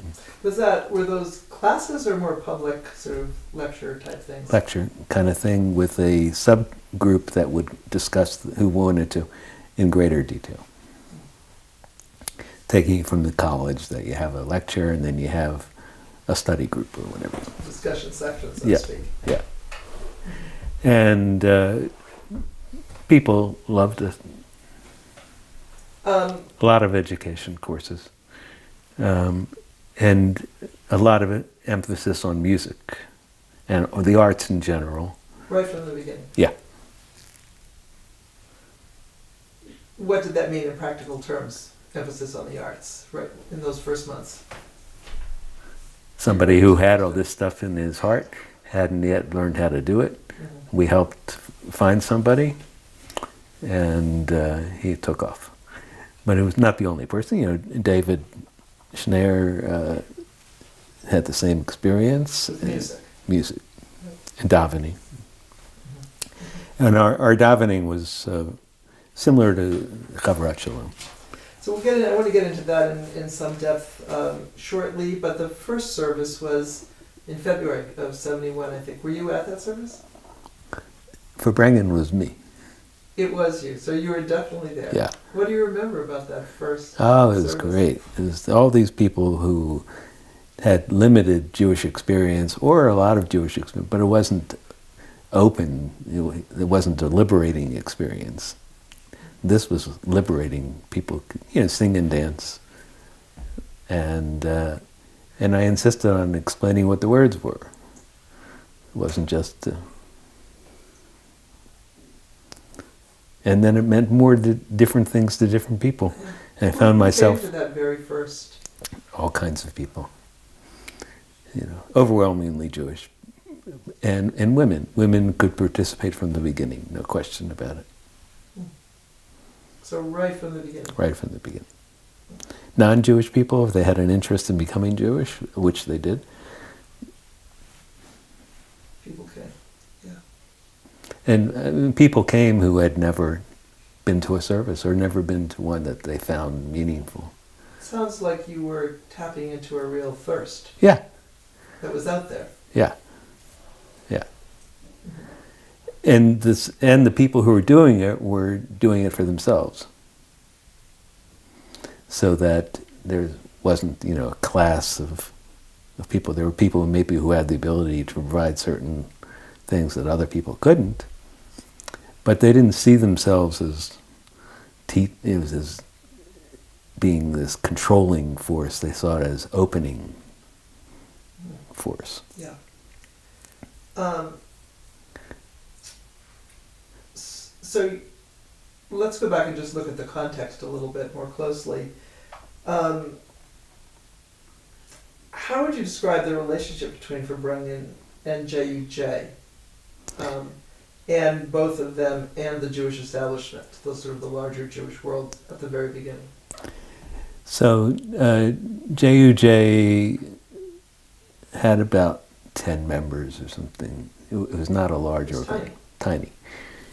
And secondly, as I say, I think it had some very good ideas. Some people did. Some were much too critical of the Jewish community in general. We're having a war against, from my point of view, we're not having a war against the Jews. They were funding us. Because they wanted to. Nobody was making them, you know, it was a big effort. Uh, and people are people, and if you talk to them as people and not as things, uh, you can make a lot of progress. So we did. And some of the people in the UJA on the staff, I remember them, came from a background of being very activist, socialist types, Jewish social, you know. And you could see them sitting there. They came too. They stopped coming just as staff of the UJA. They came out of love of Yiddishkeit and wanting to express their soul. You, you saw them sitting on the floor which we also also had on the floor. You know, I got that from the cover. Uh, and they were there on the floor. These guys were in their 50s and 60s. And they had smiles a mile wide.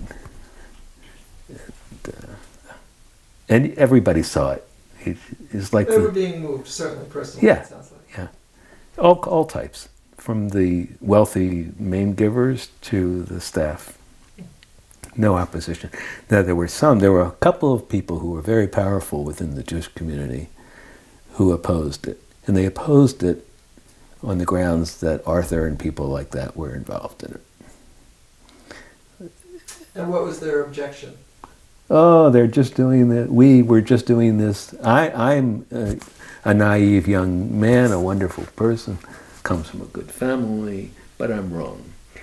But uh, others are evil, they're trying to capture my mind and the mind of other people. It's so wrong that even if I hadn't cared about it, I would have fought. but it was just wrong. It was just wrong. So, uh, but they never gave in. The, the other two or three people who opposed it were right wing Zionists to the extent they were Zionists or had. And this is as they were. You think they started out opposing it, or? Oh yeah, they opposed it from the beginning. From the beginning. Okay. Um, but the, there were enough people who cared about me personally and the, the, this whole world out there that they were willing to try something. Right. Some young people with money, and uh, Michael Staub um, writes in "Torn at the Roots" uh, that most people at the time accepted the idea that Farbrengen was the non-political arm of JUJ, um, and others felt that JUJ basically had become Farbrengen. JJ, as they say, was a very small group. That's one thing I saw right off the bat. And so there were some people, everybody's a variety of things. So as I say, there were some some stuff they did which was silly or dumb or offensive, and a couple of people were promoting that. They they actually became members of Farbrengen, but they didn't fit in. Do you think that the UJA money, uh, as you look back on it, came with real strings attached? I didn't. You didn't. No, I told them if you have a, if you want to see what's going on, come and see what's going on. Mm-hmm. Um, and were there internal tensions within Farbrengen about um, the place of political activism in the community? Yeah, it was a very active place with people uh, given not freedom to do what they want. So uh, there were, yeah, there was a lot of the people who came uh, didn't have negative views about the people that they disagreed with. They just disagreed with them. Nicht But uh, the other, but there were, as I say, a few people, but a powerful few people. Um, they were wrong too. They they thought that a couple particular people were running the place. Those people were not running the place. If anybody was running the place, it was me. Right. There was so there were others. Th- those and there were attempts, as I understand it, to limit the roles of certain key people. Yeah, that's what you're talking about. And I told them that's not going to happen. So, why and how did the did the federation decide to cut off the funding after the first six months? They were afraid. What happened there? Well, it, it was six months, so we had to go through the. So there were there was some opposition, mainly people uninformed, but some informed. They just disagreed, uh, and the UJA is in the business of raising money, not losing money. So they were afraid they might lose some money. Even though by now we had some wealthy people who in the who were in the community who came and saw and, and heard. What do you mean they were afraid they might lose the money? Might that lose people, those donors? Yeah. So uh, they set up a committee to look into it and what's happening. The committee came back with glowing terms. Nobody, these guys were stu studgy. they, knew it was like they were reborn. You know, I was afraid they were going to have a heart attack. they loved it. They set up an evening when people came, and about 50 people came from Farbrengen in a broad sense. Each one told a story more moving than the next. It was really something to see. So they recommended the funding continue. But money talks, and a couple, and the fear of losing it was a mistake on there. Um, it was a big mistake, and it really stopped it to some degree. Why, why did the Federation accuse Farbrengen of being anti-Israel, essentially? And what role did that have in the decisions, the ultimate decision yeah. to pull the funding? Well, it, it's the same people, and uh, they made up a whole thing about it. Uh, well, first of all, that was when Palestinians and Jews were beginning to talk to each other in Israel. And some of those people came back from their experience in Israel and said, hey, you had this, why can't you do it? But there were no Palestinians in Washington at that time, in any case. So this is what this is where opposition is most aware, most possible. And there were people who were on the margin now, you know, but that you have to have. If, you, if you're trying to build something that goes with, that's true to truth, truth is expensive, not closed, and you're going to have some people that you don't agree with. So. But at the beginning, and they kept our, their support actually were rabbis uh, such as the rabbi of Adas Israel and Washington Hebrew, the two big conservative and reform. They were in favor. They were in favor of continuing the support. Where did this inflammatory article come from that appeared in the Jewish Week? We never got to know. We don't know. They made up the name. They made up what name? The name of the article, the by such and such Oh, you mean who, whoever supposedly yeah. the, the journalists? Right. Whoever they were, I don't know. They were journalists or not journalists, but most likely they were people connected to the Jewish Community Council. He was the head of that, who was a guy who, and this is was sad. He uh, was very Jewishly involved, and he's the head of the, and uh, done a lot of good things but he was losing his position. He was like Mr. Social Action. Well, they weren't really doing that much in social action, nothing like what we were doing. And he was afraid of losing his status, you know, whatever, I don't know. And he knew how to get to the people who were running things. As it was, it came down to the line to. You know. How so? This event that I described brought a lot of support. And uh, and actually, what they that they said was, you know, any new money I'd have to agree to remain as the director of it. You'd have to agree to what? Be remain as the director. You'd, have to. yeah, I'd have to do. And this was already a lot of effort. And uh, all the forces were, you know, working on me. And, so, and you were opposed to there being a, a Rebbe figure, a central figure, in yeah, sense, it sounds like. Right. So I didn't want to do that. I, I was afraid of it would become too much me. And but in addition, it was so wrong. It was just wrong. You know, uh, not a lot of money would have allowed us to continue. The sisters were so sorry that they. I thought they were going to testify, which worried me, of course, because one of the things is we were going to weren't being Jewish, you know. So as a result, you did have to leave that building. Mm-hmm. We moved to another place, uh, and then another place.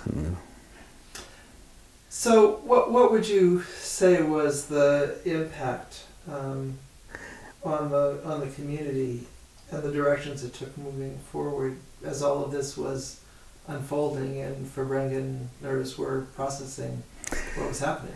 Well, so there was all this time, energy wasted on the, these issues and uh, they weren't they weren't real, and if they had been real anyway, they were very small, and there were all kinds of people who were involved, and, you know, but we wasted we had to waste all this time and time and energy, and also you know, distant people don't like each other; it spreads like a plague.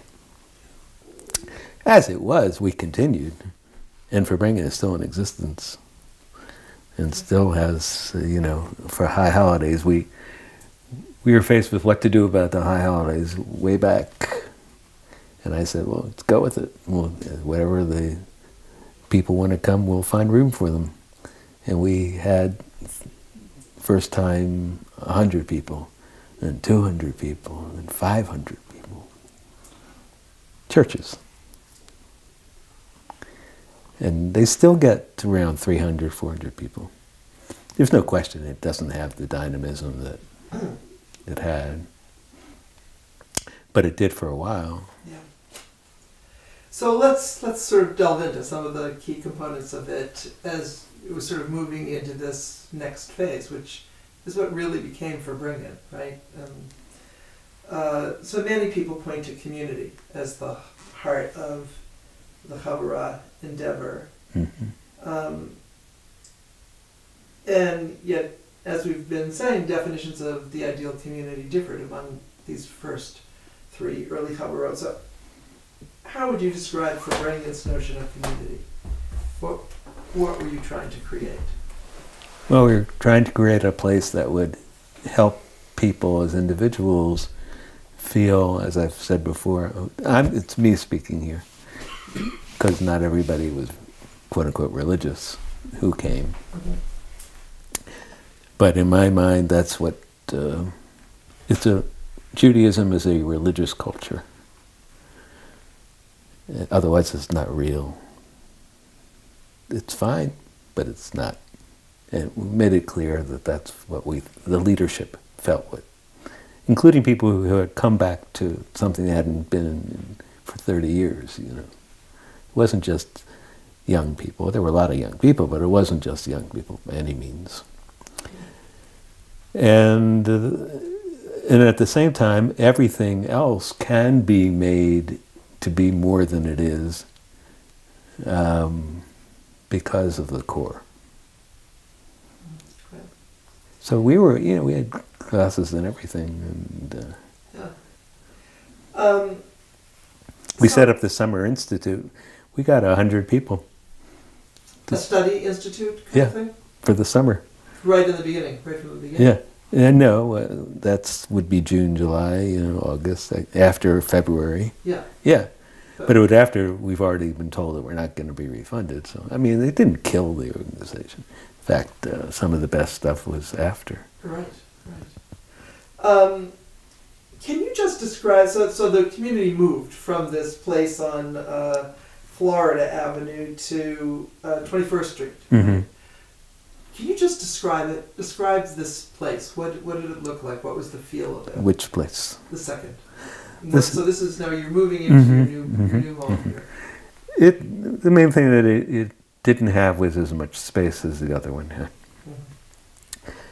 Um, but otherwise, it was very similar. It had a, uh, a, an area that outside over a garage, which could be you know this ugly thing, but it was actually quite nice. And people were always doing nice things to improve the environment. Uh, and it was, you know, we, you know, for example, in, when in the, when we had the building on Florida, I could cook Shabbos meals. This is the evil, you know, I'm actually creating meals. That's what the people wanted. That's what they wanted. Shabbos meals. So we did. We did Shabbos meals. And in the new place? We had a kitchen, but it was nowhere near the size or the niceness. The building was fine. It, but it, it wasn't. Like? And what was the? Can you describe it, the aesthetic? It, it looked like the area generally has row houses, townhouses actually.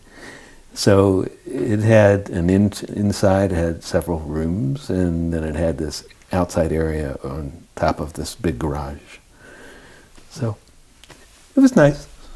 And in terms of the the furnishings and the just the general decor and ambience, what was it like? It didn't have much, but it was it didn't matter because it was so full of people all the time that, uh, you know. The first building we had people live there. David lived there, which made it nice. Didn't have that, but it didn't didn't affect much. We always were crowded, which is a plus and a minus.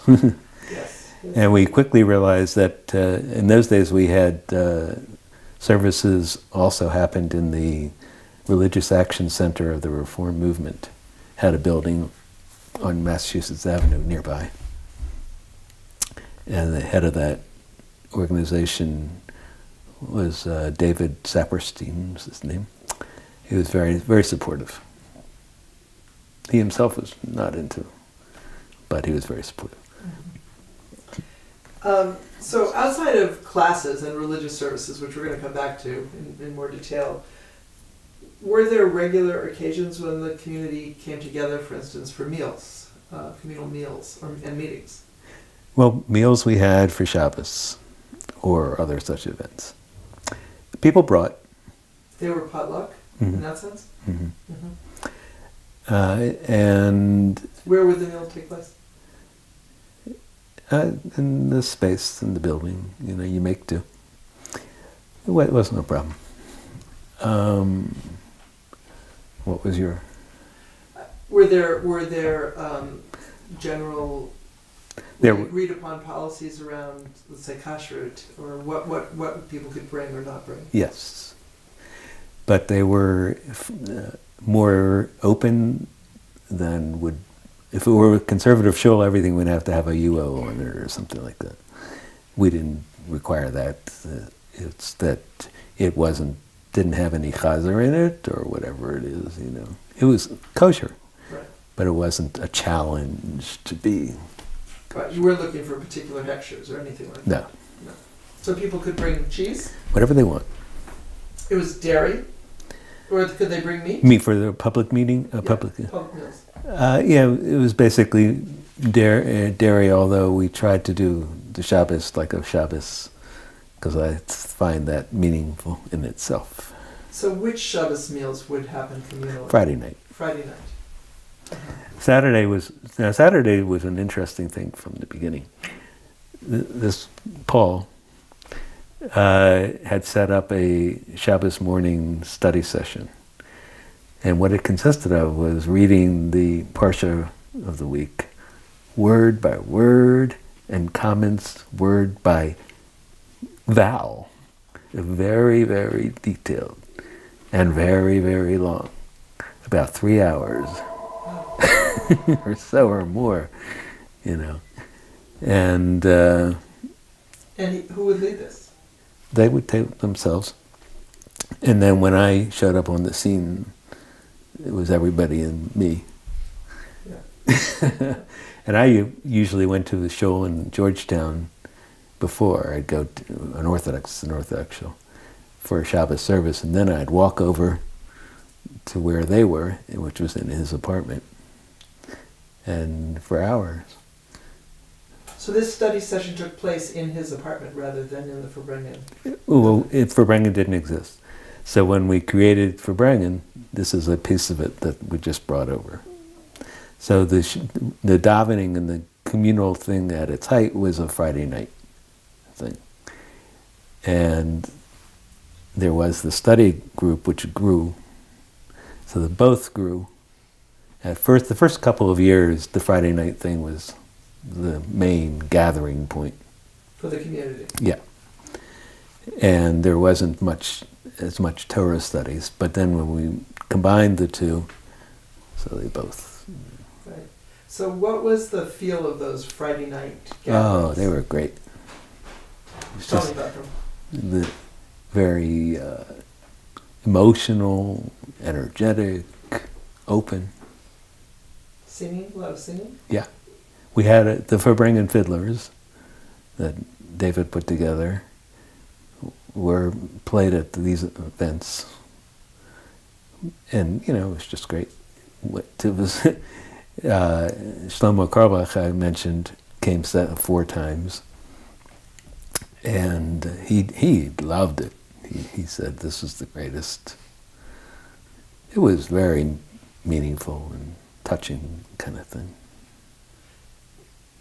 Had you ever been in an environment really like that before? Well, that's why I called uh, the kosher kitchen It wasn't a, mm-hmm. in its own way, but in its own way it was. Yeah. yeah. And but that yeah, it was limited college kids and so for adults this was really something. Yeah. Yeah. Yeah. yeah. I did uh, get a lot of concept from the Havurat Shalom.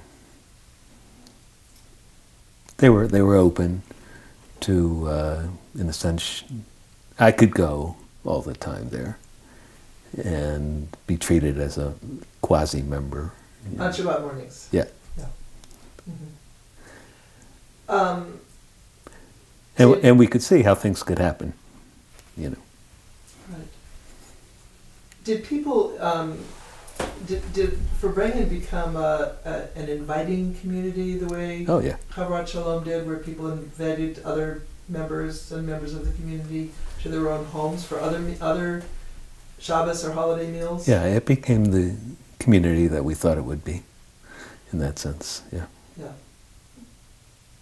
I guess what I'm asking here is was that piece an important part of it yes. becoming an inviting community yes, as well? Yes, very much so, yeah. yeah.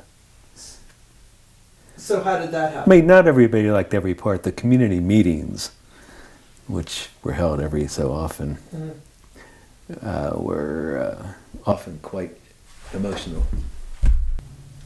Let's talk about the role of community meetings in working out communal issues and policies. So, how often did they happen to start with? Well, in the beginning, they happened a lot. Meaning, might be every day. Might, an issue uh, might come up, you know. And so there would be like an informal meeting. Right. Was it ever institutionalized? Like oh yeah, we had on a regular basis. I don't remember now, monthly or weekly. Mm-hmm. Um, what were some of the sort of major issues or themes that would be there, discussed in these meetings? Well, uh, what should the davening consist of? I mean, generally left open considerably, but still, were there certain things that should be required? Such as? A certain amount of serve, uh, the Amida is the Amida, you know, I mean, there are certain so pieces of the traditional literature. Mm. Mm-hmm. And other stuff, non traditional, not that much, not crazy. People didn't dance around nude or anything like that. Um, and of course, that women could participate in everything, did, did participate, not only could, but did. Uh, we started the uh, classes specifically to help them catch up, so to speak, uh, about mitzvah, you know, that kind of thing. So these things would be discussed at yeah. communal meetings. Yeah. So why why did they get to be so emotionally heated? Well, everything. Yeah, I don't know. Every every every issue was it seemed like an issue. Well, because we were saying that everybody had to contribute, or could could, could contribute, so people did. Mm-hmm. Um, uh, you know, some people have different uh, psychological makeups too. So people who don't like that don't want that in their shul, so to speak. Was but also there's politics. Hmm? Excuse me? There's also some concern over politics. Should some people be prohibited from coming or vice versa? For instance? that they were too, they were maybe pro-Vietnam War. We wouldn't keep somebody out, but that they may feel they weren't welcome. It's not the truth, you know. You'll see when you meet George. I mean, but um, what was it? What was the issue around that? That someone you, are you saying that the group would become aware that someone, for instance, was pro-Vietnam War? They would not be comfortable. They would not be comfortable.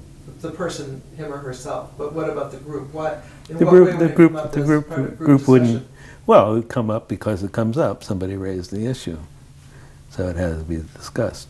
But I mean, by and large, people would know that you may have been in the war but you didn't run the war. We didn't have cap, with you know, military people. Like there were a couple people with serious uh, army experience, but they had given it up. So I wouldn't say it'd be, it, was, it would be a place that you would not be comfortable if you really thought the North Vietnamese should be killed, something like that. It certainly would be if you manifested some dislike of black people or So were the discussions that took place in these communal meetings? They were not about these things, but those things were might affect your view of somebody. And it may take several occasions before it comes out what that concern is. Right. Yeah. But I don't think that was a big but I'll admit now I don't remember. yeah. Um, so was there a basic principle that decisions were made essentially by consensus? Yes. Was was there um, a form of leadership in these meetings? How did how did the group arrive at consensus? Well, they talked, talked and they talked and they talked and they talked. And eventually, typically, you would arrive at consensus. We would arrive, yeah. Mm -hmm. But a lot of effort. Some for some things, a lot of things wouldn't matter. Although, let's say there was some person who suddenly appears and is questionable. You know, does he really care? He's is he really a person sent by the other side of the Jewish community? Right. If there were, there were minuscule numbers of people. Yeah, so those weren't issues that were taking. They become an issue because ah, how can you? They say you won't keep anybody out, and nobody was kept out. But they may not have felt wanted. Well, that's a true feeling. So there was some self-selection. Yeah, but not much. Mm -hmm. um, did the emotional intensity of these meetings affect you personally? How did you deal with it? Uh, it, it, did not make me happy, but life goes on. Uh, sometimes worse than others, you know. And the and the other the other thing is is very really personal is that I got married to my first wife in March or so. I don't remember exactly and her mother had uh, a heart problem, a serious heart problem. So she had to go visit her. She, her family lived in, was now living in Israel. Her father and mother, but the mother needed more care than that. so either I was doing business or she was taking care of her mother and it just made for uh, not possible. Yeah. So. so there was your own emotional life you were right. dealing with as well. right. So. Right. You know, people were supportive, but it's one thing. There was one woman who came to the community as a non-Jew and wanted to be treated as Jewish, that she was because she wanted to be Jewish. And this was discussed, and there were a group of people who were in favor of that. There was no need to be, have a category called Jewish or the Christian or anything. Whatever you want to be, it can be, and it shouldn't be a factor in decision making. So there was people who had that position, and she had that position. Um, and made it clear that we were happy to convert her to actually go through a conversion process. Yeah, which, which was, not what she'd been proposing. She thought she didn't need to. So how had that decision been arrived at? The decision to. The community discussed it more than once, and she was she was a very nice person and everything. So I mean, ultimately, said we'd be glad to you know, do this, uh, you won't get acceptance elsewhere, perhaps. Outside here, certainly in certain parts of the world. So the actual details we would work out. So what we ended up doing is she went through a process with, uh, I don't remember, I think an Orthodox rabbi or something, and we incorporated that in a larger thing that more people came to. and everybody was satisfied. So in the end, she did con- formally convert. She did, yeah. By halachic standards as well. Yeah. Yeah. Yeah. That sounds like an, an instance where it worked to everybody. Yeah, it, and satisfaction. yeah, yeah. You know, there were probably some people who weren't happy with the final decision. Because they agreed with her that she shouldn't. Either they agreed or they didn't. You know, everybody has different. She said, Yeah. community. Yeah. There are many Right. divergent opinions. But she, no, she was uh, happy. I don't remember really what happened to her. Um, I think I'm pretty sure she married a Jewish guy, and she moved away. So that's why I don't know.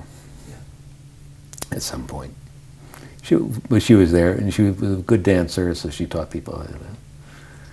She added to the value. Obviously, if you do that, you're going to have an easier time of it. Yeah. But she she was fine. Some observers have pointed to an increased focus on prayer uh, um, and study as opposed to political activism as one of the outcomes of UJA's decision to cut off funding after the first six months. Can you describe what you think the, the sort of attitude towards tefillah was within the community as a whole? Was And Farbrengen, sort of as it as it evolved over those early years after the first six months. uh, um, so whether there was an increase or Yeah, or just where where where did it figure in people's um, what they were looking for from this community? uh, And and then I have some more questions about it, uh, about tefillah and and service more specifically. services in general. Yeah. Uh, well, you know, first of all, I'm not a member anymore. Right. No, I mean we're So- talking about the seventies. Okay, okay. so the early 70s was a, a period when it was being developed. Exactly. Right.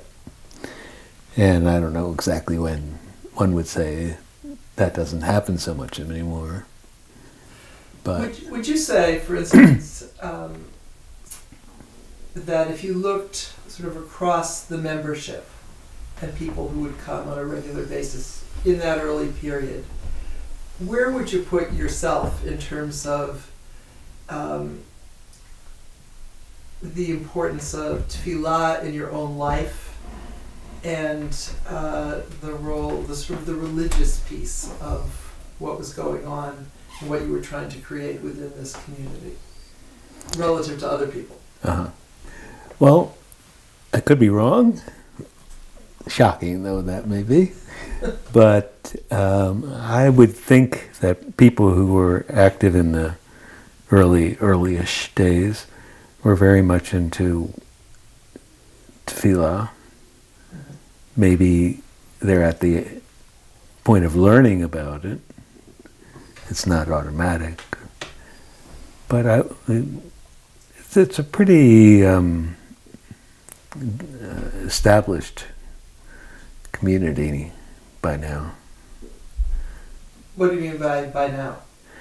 Well, in the beginning, there were a lot of people there who didn't have much experience Right. and or interest. Although they had interest, they wouldn't be there if they didn't have it. Right. By and large, yeah. And now I would guess it's even more because most of the other stuff is limited. Now, meaning 2016. Yeah. In the in recent recent years. A lot, whatever. Um, what, can you give us an overview of what were Shabbat services like on Shabbat morning at Farbrengen in those early years? Just paint, paint the first place. Where were people? Were they where were they sitting? What was the room arranged like? What what what were the essential components of Mhm. tefillah on Shabbat morning? So tefillah had become after the, the end of the money and the other building. Basically, it occurred at the Religious Action Center of the Reform Movement. So what that meant is they have a conference room. They had a conference room, Uh, was fairly large. And we would come in there and rearrange the furniture, which was a big deal because, you know, a lot of people come and leave, manage to avoid the work related to it. anyway, so that's created, that would create enough space. There weren't chairs, so there were cushions. That's similar to the cover. When you said rearrange the space in a in a conference room, was there a big table there uh-huh. in the middle? Yeah. Now, did we rely on that? I think we moved that because it took up too much space and had another table or something. and could, people were sitting where? People were sitting around, facing the whatever the aron was. Sitting on what? Cushions. On the floor. Yeah. So the, you took the chairs were removed pretty much. They were certainly in the early days. I don't remember now. Yeah. yeah. Okay. So sitting around, facing yeah. In a circle, sort of facing the aron. Yeah. The, yeah. And what was the what what was the aron? What did it? What was it made of? Well, there is one now. It's been around a long time. I don't know how long. And what is it made of? Wood. I don't think for the first number of years there was. In the first number of years, the. No, I think we had. Well, that's a little unusual space because the Torah was given to President Kennedy and then loaned, quote unquote, to the Religious Action Committee, or and they have a, aron. Whether we used that, we must have used it. Do you remember, Jonah? No, I don't. I really don't remember. Okay. But um, they have a, a an aron now. Yeah. Okay. Um, just one small thing. If you can avoid as much as possible moving your hands to your face, because I don't want any shadows on your face. Keep them glued. Perfect. All right. Um, many people uh, have described services at Havurat Shalom as neo-Hasidic. Do you think that term also applies? it applies service? probably not as constantly as theirs is. Uh-huh. Were there um, ideas and practices drawn from the Jewish mystical tradition that were pretty much integrated into the Farbrengen approach? Well, uh, I, I, wouldn't say that there was neo Hasidic except for the melodies, which were a big part. Right, yeah. Um, and it's been a long time since I've been to Havurat Shalom, so they had cushions and the, yeah, yeah, somewhat similar, yeah. Mm-hmm, mm-hmm. Not as ideological on that point because the leadership is more focused on neo Hasidic stuff, I guess. There, yeah, yeah. yeah. did the did a Shabbat service follow a pretty traditional um, liturgy? With one exception, which is, and this was not when I was well. It, it was a point of my thinking this was not for me. Um, they eliminated, uh, well, there are two reasons. Musaf was eliminated. That was early on. by, by virtue of a communal consensus? Mm-hmm. The feeling being uh, Esther Ticktin is the one who pushed this, that our group doesn't daven every day. So if you you uh, don't, so the Musaf is an additional day, so it would be running counter to the practice that we're otherwise doing. I think that's quote unquote silly. but you may not want to do it for other reasons. You know, it takes up a lot of time. You've already put up there's the time spent on Torah service is much greater than normal. Because of that discussion stuff that I talked yeah, about. Which we'll come back to. I mean, they don't do the same thing anymore, but it's still more time on that than you would think. Yeah. Right. So Musaf was one thing that's yeah. not that is a departure from right. traditional liturgy. You right. said there are a couple of things. Well, I, the beginning uh, was left to the chazan as to how much of the morning shachar stuff that you want to do, the blessings. Like the yeah, yeah. Probably would do one or two, three, but not a whole 20 minute, 20 pages or whatever. Right. So that was another thing. But otherwise, it was fairly traditional, you're saying, yeah. in terms of the patterns. Well, many people have also pointed to the creative tension between tradition and innovation in Chavurah style um, uh, services. Was that true at Farbrengen as well? Yeah. So, can you describe some of the Well, so features? I've done the elimination of the Musaf, with the exception of uh, Yontif. Um, and Psukei Dezimra, that kind of thing also. You know, you could say on the one hand, it's not a big deal, it's not a big deal. It's, I don't think the Psukei Dezimra is certainly not a big deal. Um, but if you were accustomed to doing it, it's a big deal. I don't know. There were a lot, there were a lot of discussions on the Musaf issue. Uh, I don't think there were any on the Sukkot or something like that. Mm-hmm. And that was a number of years ago already. Do you remember uh, any experimentation that had to do with um, body movement, for instance? Yeah, there was a period when people were more into that. What was that? Because they, cause they were kind of people who were engaged in body movement. So, what kinds of things would they, uh, they might, experiment with? Yeah. The, uh, I mean, include or not include, or yeah. methodology? Either. Well, I, um, I don't. I don't think there was much attention paid. paid By the time you got to a lot of singing and a long Torah discussion and maybe some other discussion. So those were the big innovations that yeah. you're saying. Big, lots of emphasis on music. Yeah. And big Torah discussion. Um, so explain what the role of the Torah discussion was in a, in a Farbrengen service. So, well, I was, I think I didn't get to where I was started on that, which is with Paul. Yeah. Yeah. so they, they, used to spend two or three hours. I mentioned that on Torah. So that was before the service. That was before. That was the service.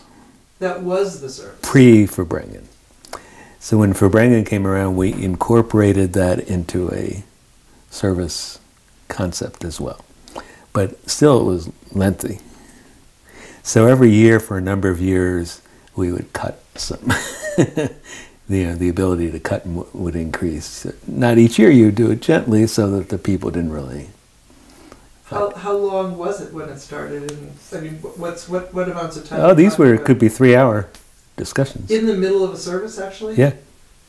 And then it became. Each word. Each word. Mm-hmm. It's kind of funny when you think back on it because it's very religious, quote unquote, in a Jewish sense, study. Yeah. And who would, would, would someone lead that discussion? How did No, uh, only lead it in the sense of move it along.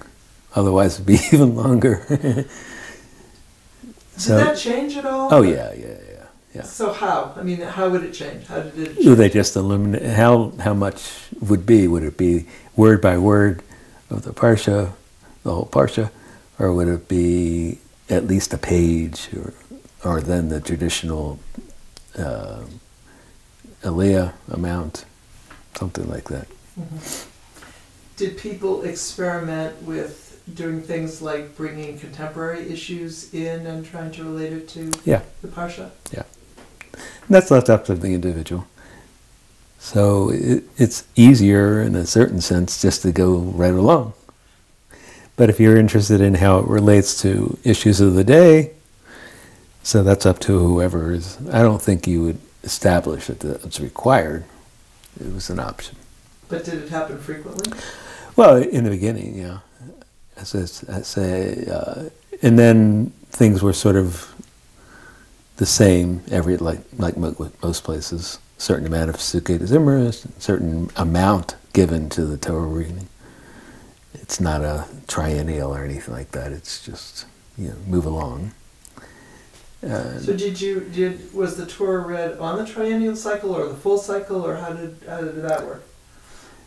As much as you could stand in the beginning, and now there must be a system, probably the triennial. Mm-hmm. But your memories of those early years was the, the early years were more exciting to somebody like me who otherwise goes to a place that just reads I find the leyning, just the pure leyning, to be not so exciting. But in a big show with a lot of people, it doesn't work to have discussion on every word, that's for sure. But you found it exciting when it was happening. Well, those were small groups, and the people were all excited and seeing motivated. Yeah, yeah, yeah, yeah, and see it as a way for them to learn their Jewish Yiddishkeit. And, it was the it was the davening of the day, and then when that was and, and another thing different from over the time shows that things evolve is in the beginning it was Friday morning Friday evening that was the key service, not Saturday. And my guess, my guess, well, it did change when the Hick, uh, Ticktins came. It was easier to add the Torah service then, but she still wanted to keep the uh, not doing Musaf. Why was it easier to add the Torah service when the Ticktins came? Simply because you know another expert saying we could do this or do that. Okay. So there were some more authoritative voices like that. Yeah, Ticktins, yeah, yeah. It's, it's not formal. Yeah, no, I understand. Yeah, now these were discussed by the com- community as a whole. And then it was a chance for women to, right. who didn't have much knowledge, to lead the opening and closing of the Aron. Right. But I want to go back to what you just said because I don't think we've made that clear so far. And that is that in the very early periods, it was Friday night services. Yeah. So more, it was a Kabbalat Shabbat service yeah. essentially. Yes. And in there we were very creative in the beginning uh, that you, instead of just doing the Kabbalat Shabbat that's presented to us, you could do something else. And there was a time when, what happened to you on Monday? What happened to you on Tuesday? Think about it. Tell us about it.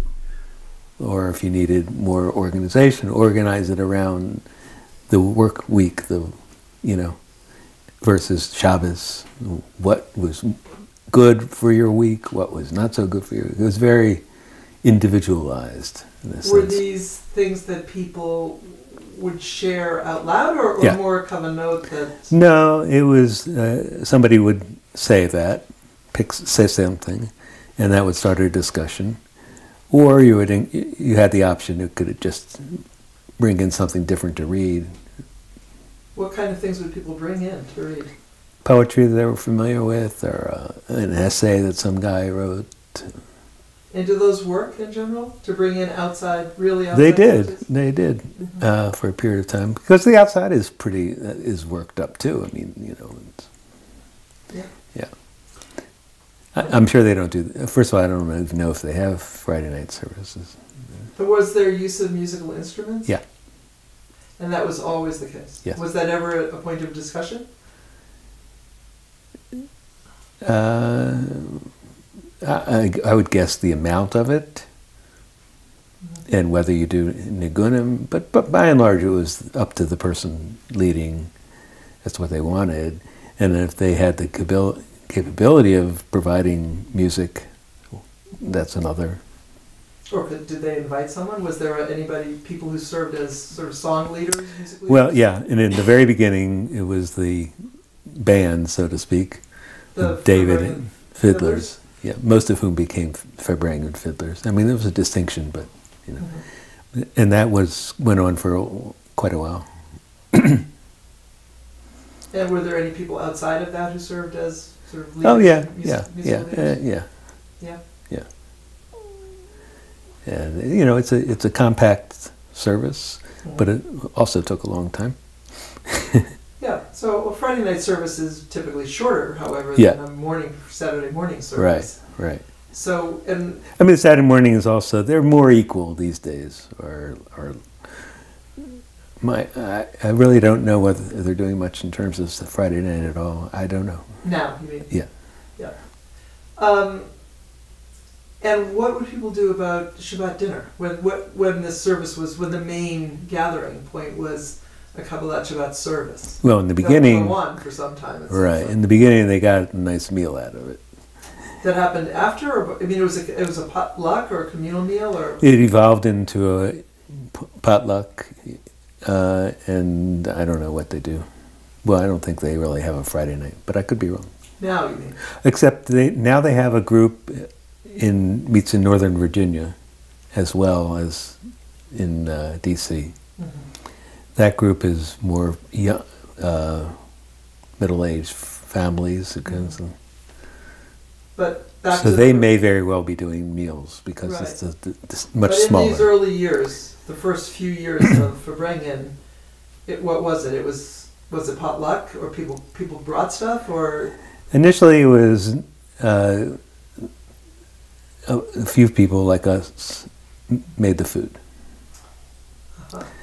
but that you know may have lasted a year or so, right? and then potluck is more common. They have that now. And that would be after the service. Yeah. So it was a whole evening, basically. Yeah. Of being together. Yeah. And then on Shabbat morning, did anything happen? In There'd those be- ear- in the early times? You mean in terms of like food, like a kiddush or something? No service. Was there a service? Oh yeah. Well, no. In the very beginning, uh, the service consist remained mainly the reading of the Torah, study of the Torah. Then that evolved, and to that was added periodically traditional stuff. Then, as that's added, the other is reduced. This, the the Torah discussion became re- reading and discussion became reduced. Yeah. So was there always something on Saturday morning? There was always at, at least this Torah discussion. Once I joined it, there was always something. Well, you were it, right? Well, I didn't sit by myself. Yeah. No, there were other people. Yeah. It, it's just we had to keep the point. It, it became a f- practical issue. How much time did you want to do, do for the whole thing? And then how would you cut the time, so to speak? Right. Right. So that grew, that grew to be more the traditional thing, with the exception of Musaf Yeah. and Psukei Dezimra. Are there any um, Torah discussions or Divrei Torah that stand out in your memory as something that sparked really heated or emotional discussion or um, feeling? I'm sure there were. Yeah, Okay. I don't remember necessarily. Actually, the one thing I do remember was uh, off to the side, but it was very emotional. And that was on one Yom Kippur. Chava Weissler was doing something, you know, reading, making, participating in the study. She was directing it that day.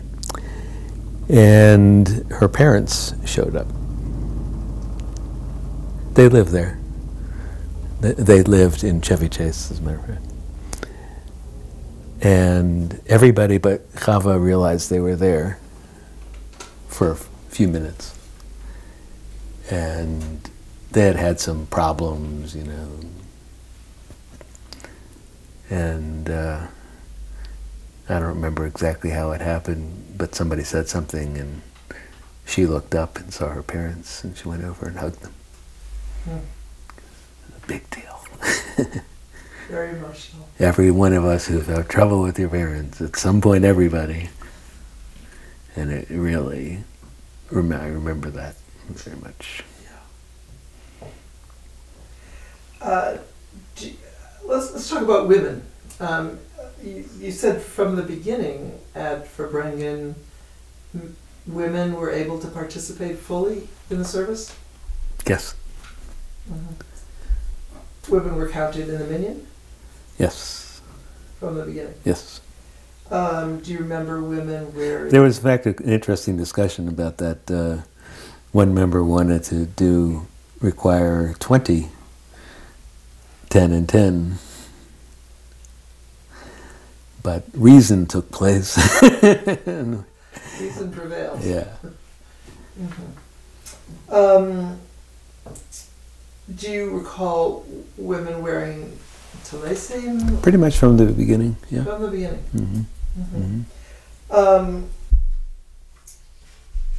to what extent would you say you and, and other people at Farbrengen were really aware of the nascent Jewish feminist movement as it was starting to take shape with Ezrat Nashim in 90, 71 and efforts to include women? Well, we included, as I say, from the beginning, uh, and started classes soon after the first year so that women could participate knowledgeably. Right. So there was a lag from Well- when you started to when women started actually leading davening, women started leyning, Uh-huh. It was uh, a lag. knowledge gap. Yeah, it was a knowledge gap. And, and individuals moved at different periods. And some knew a lot already, like Chava is very ed- well educated, and, uh, and some people didn't know anything. But it was a, a, step by step. Yeah. Um, and adult bat mitzvahs were Started way before they did in regular synagogue. Exactly. Yeah. In uh, something in seventy. It was in the se- early seventies. Yeah, Um, and a women's group. Right. It started to be was established in '73. Um, do you remember anything about uh, '73 was when the first adult bat mitzvah took place at Farbrengen, which was early. uh-huh. Do you remember where that? You remember that occasion? Do you Yes. remember? Can you describe it? Uh, again, it was a family actually that came together, uh, which was nice. They participated. And it was otherwise uh, straightforward. Well, they did as much as they could. So some people it was a Torah service. So, uh, so there were several women who were. But in the first one, no, in the first time it was just like anybody else, which was sequential or part- particles brought together. And um, but then the classes took place for the because people didn't have the knowledge or feel they had the knowledge. They would have been allowed to do it anyway, or they were allowed to do it anyway, but people wanted more. Yeah. So it really wasn't coming from the community as such. It was the community was supporting, individuals. Yeah. Who were interested. yeah. But they had classes. Uh, Do you remember the? Can you describe at all the feel of any of these? oh, it was it, in the very beginning. It felt um, uh, it felt it always felt good, or but or irrele- not necessarily relevant to the, in anything. It was assumed. But in the very beginning, it was another element of of uh, freedom and uh, growth. Very much, yeah. And people were very different in their amount of learning that they were comfortable with. What do you mean? they may have wanted to do. Some may have said, "Oh, I don't know enough to be that. I should take a class." Others might say, "I know plenty. I can do it in English. It'd be just as good." You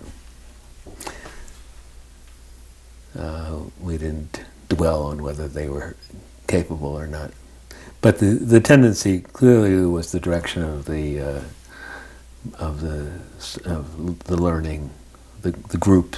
Some then stayed in a group as they did if they didn't feel comfortable. That's a personal thing, but most did did something. Yeah. Okay, so is there anything else you want to say about tefillah and services? No, I mean it was a big part of, especially in the beginning. Oh, it's a big part. It's even more in, when it's not in the beginning because you have other things. But uh, it was the center of the Torah service was Torah reading study that I described and the singing at different places were the two important components that changed the feeling of the place. Coming from such a strong halachic background as you did, did you find the services fulfilling? Yeah. Yeah, I, I didn't. There's always a lot of accrements that are put in, additions that are put in that are not necessary, and some then they might argue about which is more important. So, but that, the music was very important, and then there were other things. There were dances, movements. Yeah. Yeah, actually, uh, Rochelle and my wife and Arthur Waskow did a lot of movement stuff and together with music. His contribution to the music part was rather limited. but the idea, you know, of somebody getting up and doing that and not worrying about being made a fool was certainly there. Yeah. So let's turn to uh, the role of study and learning, which we've talked a little bit about. Um, how, how did the Chabura uh, envision the role of teachers and learners with flexible bringing classes? Flexible. What does that mean? Sometimes person is a student, sometimes they were a teacher. But um, since Judaism has a core of learning that's in a different language, it's not the same as it would just be if you had an English service or something like that. But we, we always had classes outside of the davening as well as the davening. From the beginning? Yeah, from the beginning. Uh, and were people recruited as teachers or did they volunteer as teachers? How did, how did, how did, the, how did classes um, become part of the curriculum that was being taught in any given moment? Well, again, nobody was required to take it. No such thing as required. but it was made clear that it was desired to everybody, including the person who was doing it. Although people are different in feeling comfortable, uh, we're not out, we're not out to make people feel discomforted. But most wanted some degree of education, and certainly to have a bat mitzvah that required. And many, I, most of the times that I've been at such things, their family comes, their friends come. Right. It's a real bat, adult bat mitzvah is real. Did you get involved in teaching? I personally? Yeah. Yeah. What what kinds of things would you teach? Uh, well, initially the structure of the service kind of detail so that it's more traditional. And then things, uh, ethical issues that might come up, it's more of a to- kind of Torah discussion focus.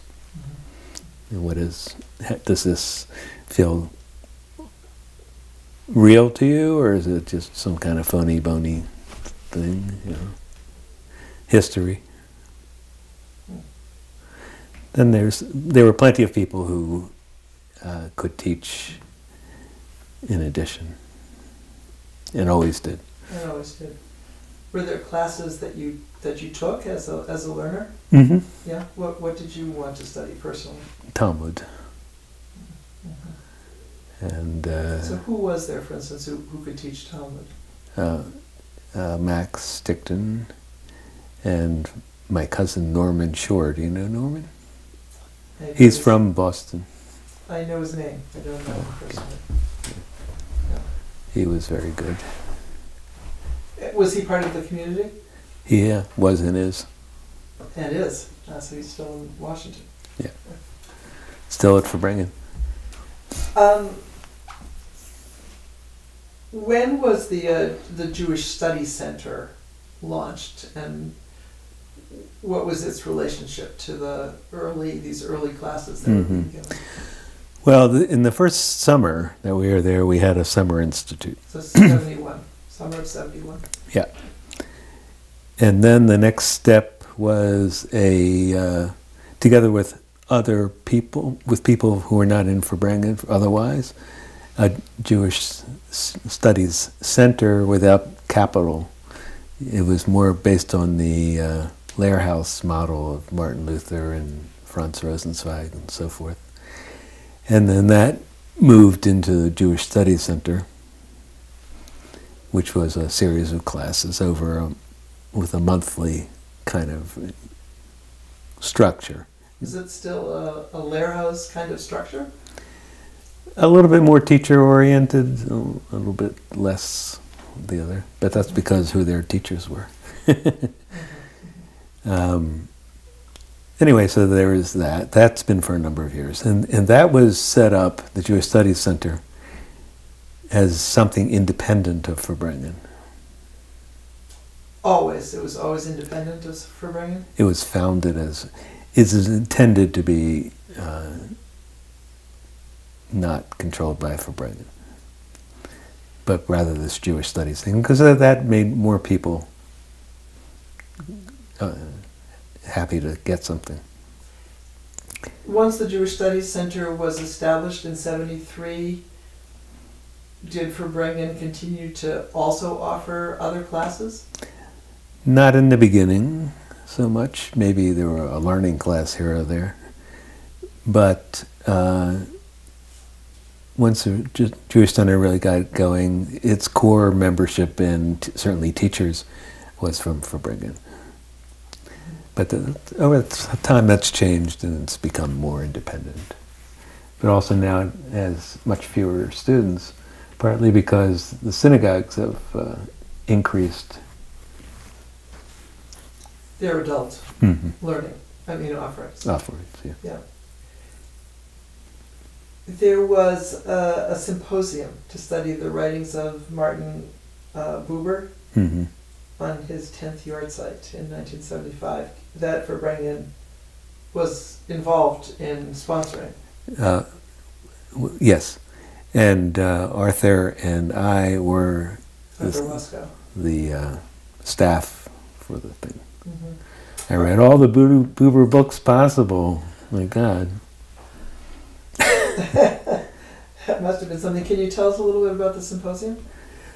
Well, uh, it was funny, or not so funny, that uh, most of the people had never heard of Martin Buber or much about him. And here it was. You know, it seemed like until you actually worked on it. Oh, this must have happened 30 years ago, you know, or 50 years ago, or 100 years ago. It was only 10 years that it, you know. So, uh, and it was relevant. He was asking the same kind. He was the modern questioner. Does this make sense? Is this something that, you know? There's a whole thing whether he was he knew what he was talking about with the Hasidim, Hasidic stories that he picked and the philosophy. We didn't worry about that. That's for the academic world to argue over such matters. But uh, in general, he was one of the people cited often. Uh, sometimes people would give a small story as the bizarre, bizarre Torah.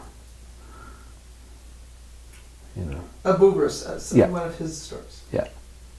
Yeah. So, was it well attended? What? The symposium, the tenth. Yes, it was. Anniversary. Yeah, symposium. yeah. The um, um, actually to show you how things go, the main speaker about his over life over his development in life was my father, because he wrote a book about Buber, and Buber was included in the book, and. Uh, so,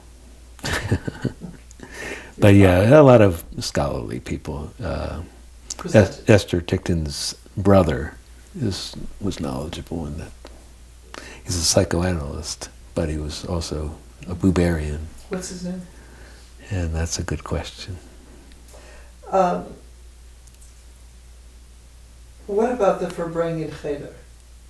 When did that get started, and what, what was the impetus for getting that children's program going? Yeah, there were enough kids who weren't getting educated because it was not the focal point of the, and we couldn't cover all bases. So a number of families that had educable aged children got together. And an informal thing that we did over the years was the label Farbrengen would be used. The Farbrengen Cheder. The Farbrengen this, the Farbrengen that. Which was nice, because it kind of, you on your own, we, we didn't control the, the Cheder at all. But we were saying you're part of our group, positively part of the group. A form of branding almost. Mm-hmm. Mm-hmm. Though it was started, was it not, by people who were who members of Farbrengen, but that's not their only life. This was members of Farbrengen Cheder. Yeah. So to this day, if you see something writing about it, it will say the Farbrengen Cheder. Yeah. Um, you know Sue Romer? You know the name Sue Romer. So she appeared on the scene. Actually, it's a good good example. She would uh, it came from a Yiddish background, a secular Yiddish background. And she, we had a uh, quote unquote coffee house uh, in the early days, and she showed up and did her Yiddish songs, and they were wildly popular. she was a good singer, but it was way beyond that. It was emotion of Yiddish uh, and stuff. Then when her kids got older, she was behind this. She wanted them to have a Jewish education traditional Jewish education. So she started that, and Arthur also had younger children. Who did? Arthur, and other people like that. So it was a mixture of adults and studies and children. And the role of Farbrengen, by and large, was to help provide teachers and help with uh, money and a variety of stuff. But again, no effort to control. After the initial period of Farbrengen and, and once the Federation has stopped its funding, how, how did the place of political activism evolve as a focus for communal activity and interest? For social activity? Well, it had always been there and it didn't change. That part didn't change. I, I thought you were asking about payment of raising money and things like that. No. No.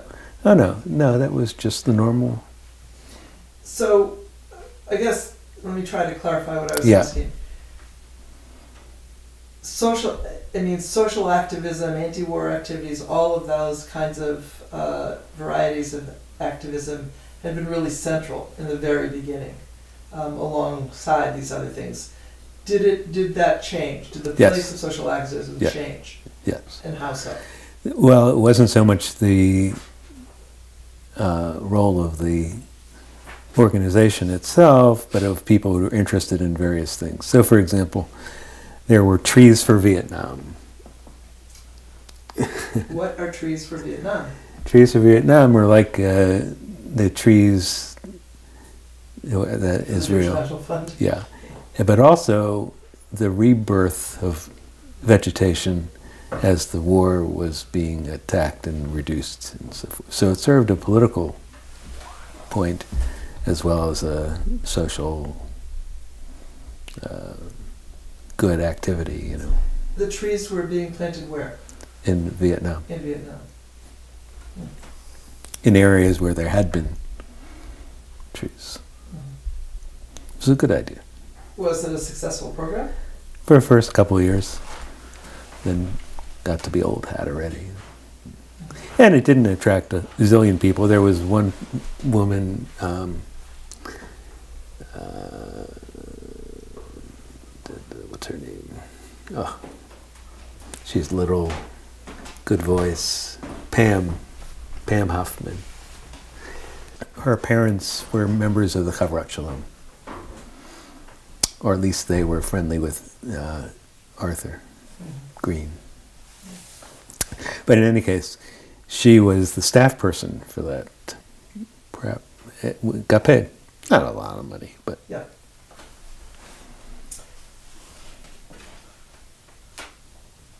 tensions over varying attitudes towards Israel and Palestine and Israel's policies were clearly central in the very early months of uh, Farbrengen's existence.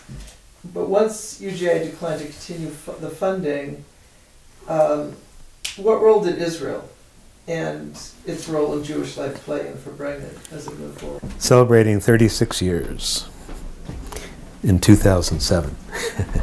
One of the anniversaries of Farbrengen was, I think, the 36th anniversary. This is what it is. So, rabbi who have become rabbis and cantors, page 12. You turn to page 12.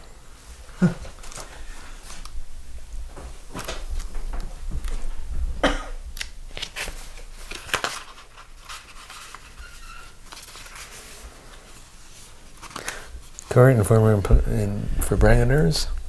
Current and former Farbrengeners who are rabbis, are cantors, and have settled permanently in Israel. Mm-hmm. Excuse me. So isn't that something? It's just to show you that a lot had been accomplished in a period of time without any money and without this and without that.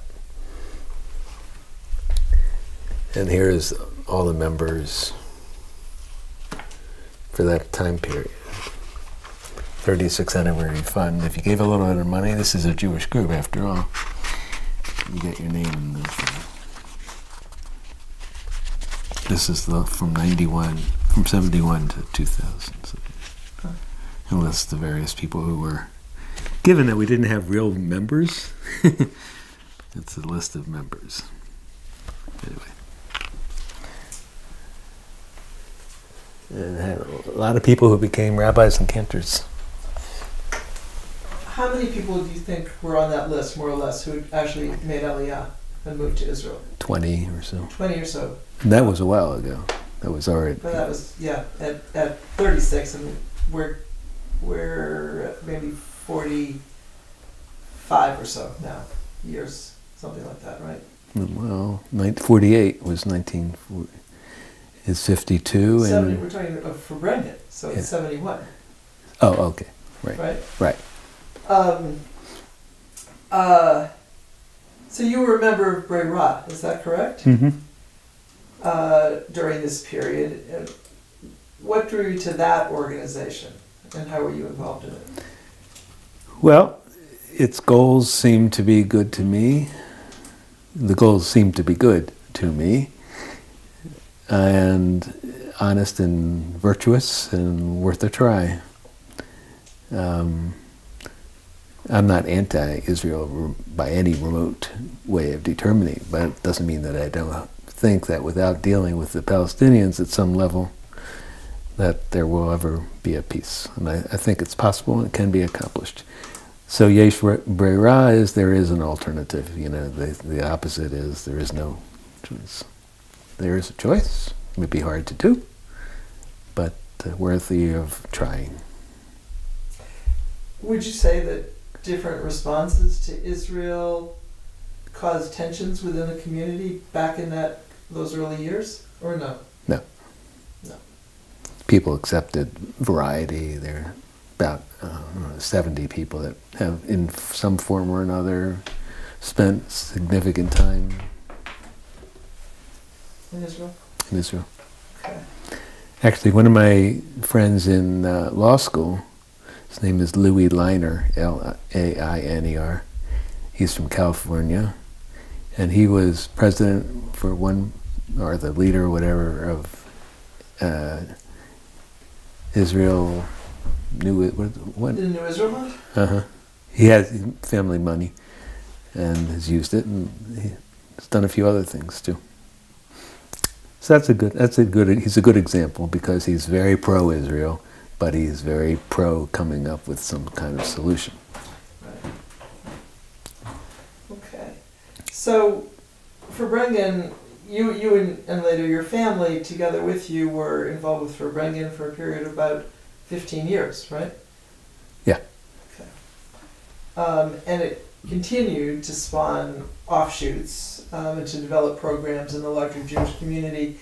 Can I just want to touch briefly on the ones that you think uh, were were significant, most significant. Um, just to get a sense of how Farbrengen continued to evolve um, over because this this project is really focused on those very early years. Mm-hmm. But Farbrengen actually started three years later than Havurat Shalom, and, mm-hmm. and sort of its continuing development through the 70s and 80s and even beyond are something that I want to at least mention. So um, you mentioned Farbrengen Fiddlers. Uh, what about the coffee house? You just alluded to it a minute ago. Was it Tzedek Tzedek Coffee House? Was it? Mm, that's what I've read. Well, if you read it, must be accurate. How about the Tzedakah Collective? That's an interesting model because it still lives. It started off with uh, everybody would commit would commit to f- contributing, but also to analyzing different groups that could use the money well, fairly, properly, and so forth. So many people came up that two had to be established. Two two collectives. Because the whole one of the points is you get together with people and hash it out. You can't have too many people it. Doesn't work. So for a number of years it was two. Then did lose some members and they've maintained one, but they're still in business. How many people were in the sort of ideal number? What was the ideal number? in a, in a, in a tzedakah collective? Around what 20, around 25. Something around 25? Yeah. Uh-huh. Um, and so they would go through a process of making decisions, ha- having educated themselves about potential recipients. Yeah. Then there was an offshoot of that. There was a woman named Rita Paretsky. Mm-hmm. She was a Farbrengen person from early on. And uh, has had a fair amount of money a couple million. Uh, and she became ill, uh, and her both she and her mother had the same illness, some kind of cancer of the uterus or some, something. But she didn't have any children, so I don't know. In any case, uh, she set up a, a charitable trust, and that increased the amount of money that could be given. It's not officially through the tzedakah collectives, but by providing information about projects, you know. She at least can have a voice. Yeah. In that, very nice. Um, what can you tell us about Farbrengen's role in co-sponsoring the Jewish Folk Arts Festival? So uh, David Shneyer is a key person here right. in that. But uh, he was active in Farbrengen at the time, so he actually came to the community at a community meeting and asked for support, and uh, mainly financial support, and then people to help with logistics. Uh, it was universally supported. And we have a record here somewhere of uh, Rochelle Helsner in the self-serving things. Yes, yeah. indeed, indeed. Are there any other significant um, sort of programs that you want to mention? Because otherwise, I want to move to the question of retreats. Retreats? retreats. We never retreat. okay. Um, so Weiss's Weiss's farm. Yeah. Outside of the sort of immediate Farbrengen family, there were gatherings of Jews involved in the early Chavurot that started taking place early in the 70s also. Um, only, only. It was it was the three groups who we're now talking about. Nur and Farbrengen. Right. And we, I don't remember how Michael and I both said at the same time, but whatever, that this was something to do. Michael Strassfeld. Yeah. So we did. And uh, some outsiders came, but basically the idea was a three, well, three times the year to have a, a retreat coinciding with uh, Shalosh Regalim of America and Israel. what do you mean, America and Israel? Well, it was easy to pick the one for the summer and the fall, but not so easy. Meaning Shavuot and, and Sukkot. Yeah. We could have done Pesach or whatever, but we made one that was, uh, well, maybe we did that. Must, no, I don't think we did because of the Sidorim. Hard to do Pesach. So we did it around the winter time, anyway. And the American holidays are things like Labor Day and Columbus Day and whatever. But it worked out. It was great, actually, not just worked out. And there was a moment when, which was very important. Some guy, I don't remember his name, got up at some point and accused, uh, he, he, wouldn't give names, but one group does not follow the practice of use of mainly relying on experts in terms of Judaism to teach Torah. In other words, what did Rashi have to say? What did this? You know, one of the th- groups mean one of the, these three chavurot. So I was about to get up and defend, you know, but it wasn't necessary. Everybody said no. It's great to have Rashi, but it's, it's not the end of the, of the world. And uh, it's legitimate what people have to say. All of one of the key points of the Chavra movement is that it's legitimate to say things that sound outrageous otherwise.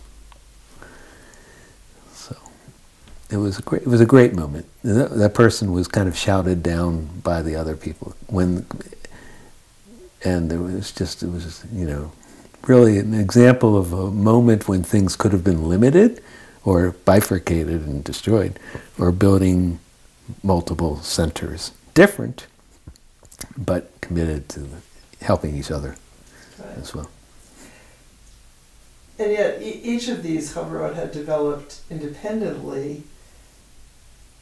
Did you learn uh, things from each other's experiences and models that you wanted to take back and, and try and innovate and experiment with within your own community of Farbrengen? Yeah.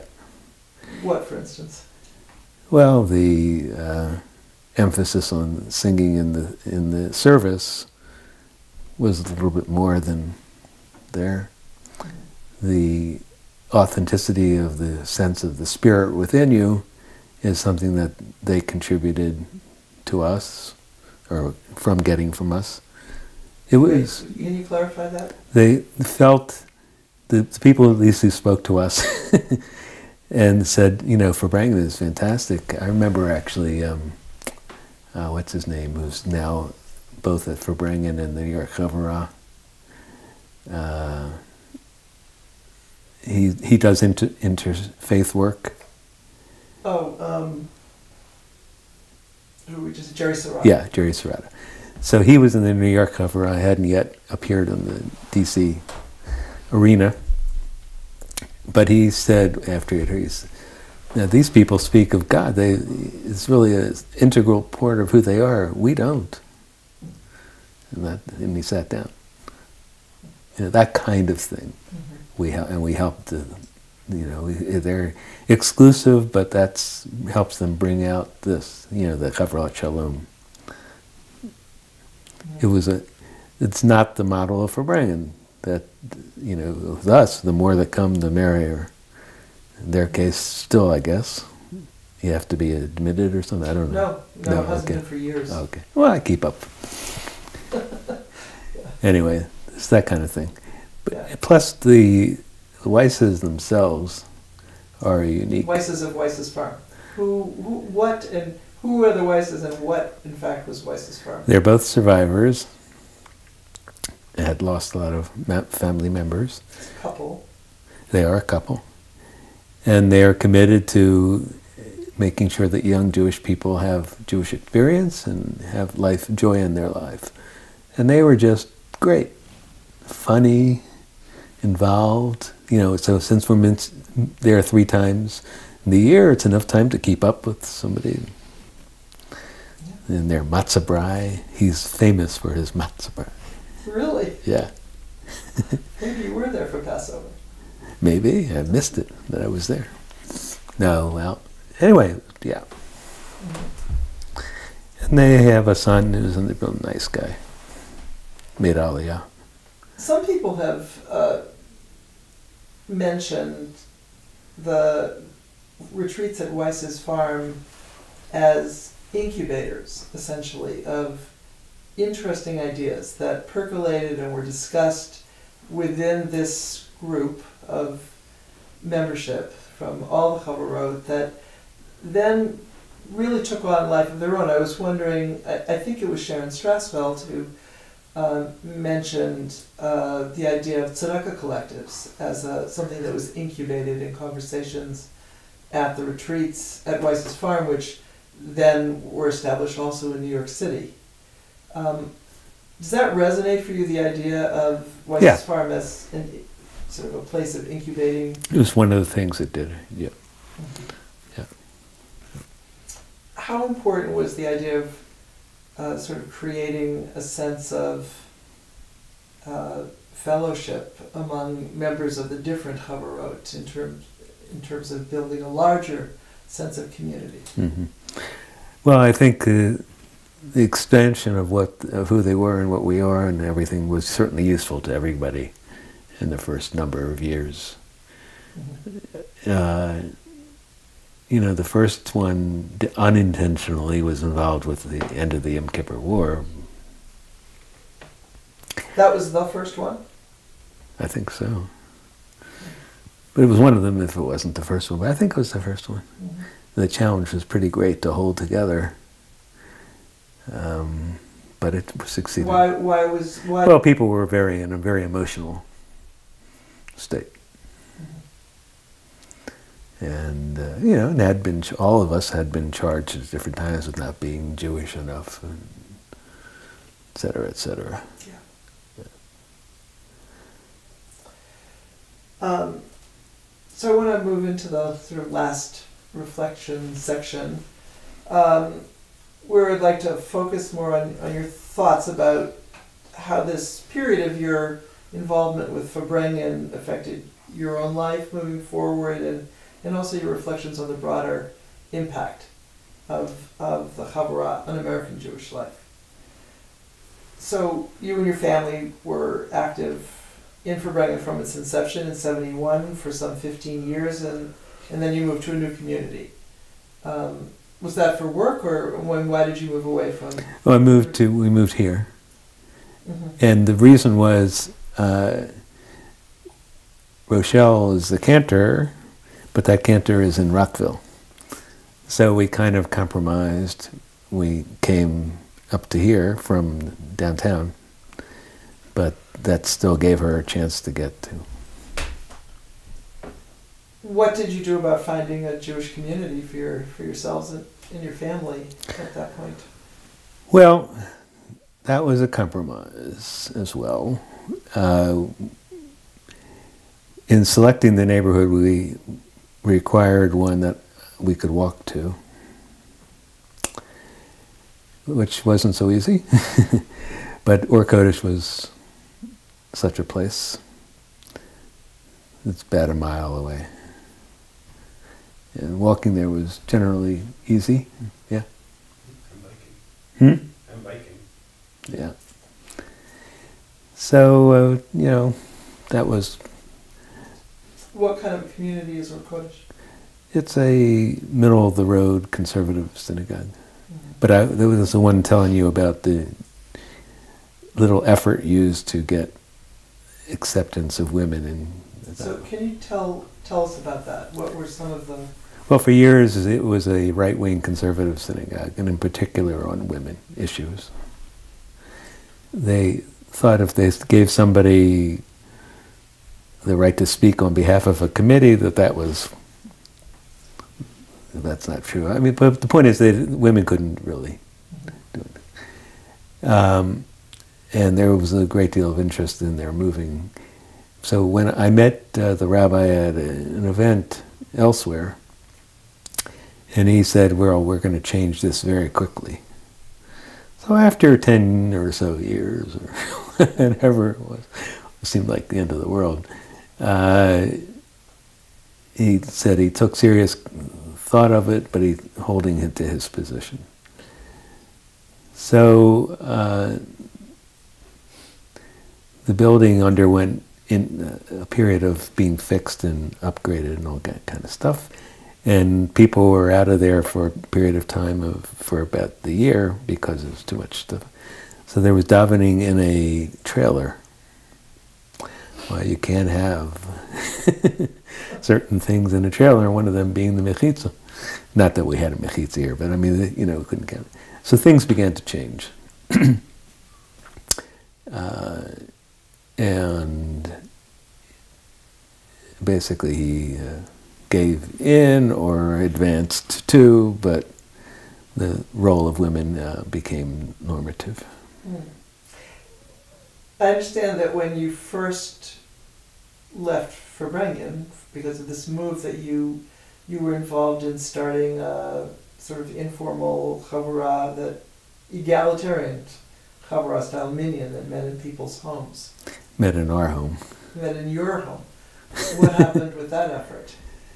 Oh, uh, Jonah's sister was born. mm-hmm. It was just too much.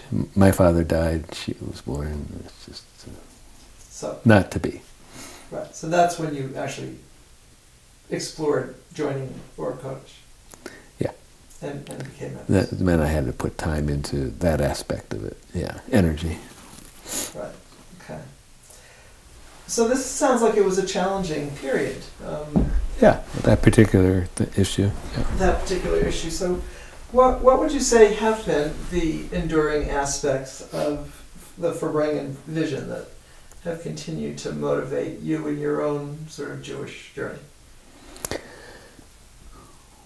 Well, it's a very different place. You, it can be good and, and not be the same. Uh, and it can be only fair and not be the same. What's the it? It is the style of community building. Okay. There, there's a lot of teaching that goes on. Uh, in fact, um, a guy named Richard Friedman, who was active in Weiss's Farm, and he went to uh, in Israel. Uh, what's a yeshiva kind of, but a liberal yeshiva. Yeshiva. I can't remember. Anyway, he gives courses that are like what a rabbi would give. You know on text, in other words. And, and people could do that if they want. And that's, it's, it's open to that in particular learning. The level of learning may not be so high, um, but the fact of it. You know. And uh, it's also caring. The, I, I, think today most of the shuls are this way. Mm-hmm. They have increased learning, accepted opinions of different things, care for each other to some degree, you know, not uh, immense, but to some degree they all have com- committees that help people get through problems and things. Yeah. Yeah. So where has your where have you and your family landed for uh, sort of a spiritual home? Is it Rochelle's synagogue at this point, where she's cantor? Yeah, well, she's the cantor there, and uh, she also is the program kind of person as well. Mm-hmm. Um, so I'm not so much involved in the organizational stuff, but some. Mm-hmm. Are there ways in which you you'd say that your your Jewish life and ideas about Judaism have diverged from what you thought during your Farbrengen days, and certainly the early Farbrengen days? I don't think it's as exciting as the Farbrengen was, but I don't think the Farbrengen is as exciting as it was. So, mm-hmm. you know, different different things become motivating factors. Mm-hmm. Uh, we had the children, and uh, we hope to have other children of a different type. Small children.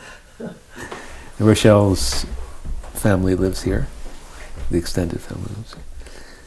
So that's good for her. It's it's fine. You know. It sounds like there's had to be a fair amount of sort of compromise just for reasons of different life stages as well as opportunities. Yeah, it coincided with um, an issue that developed, which was this question of uh, how do you phrase this?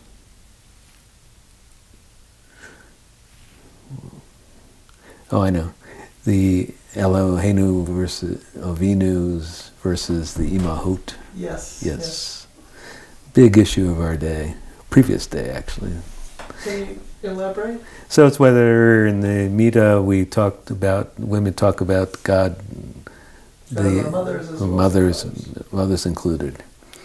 So at in the beginning of that coming up, my position was, and it wasn't the end of the world position, but you know, that actually it says the God of Abraham, the God of and the Imahot. But the reason, so, so Moshe is not part of the Avinus. It's the three particular guys who had particular uh, relationship with God. Doesn't mean that other people can't or would, and didn't, but they're other people.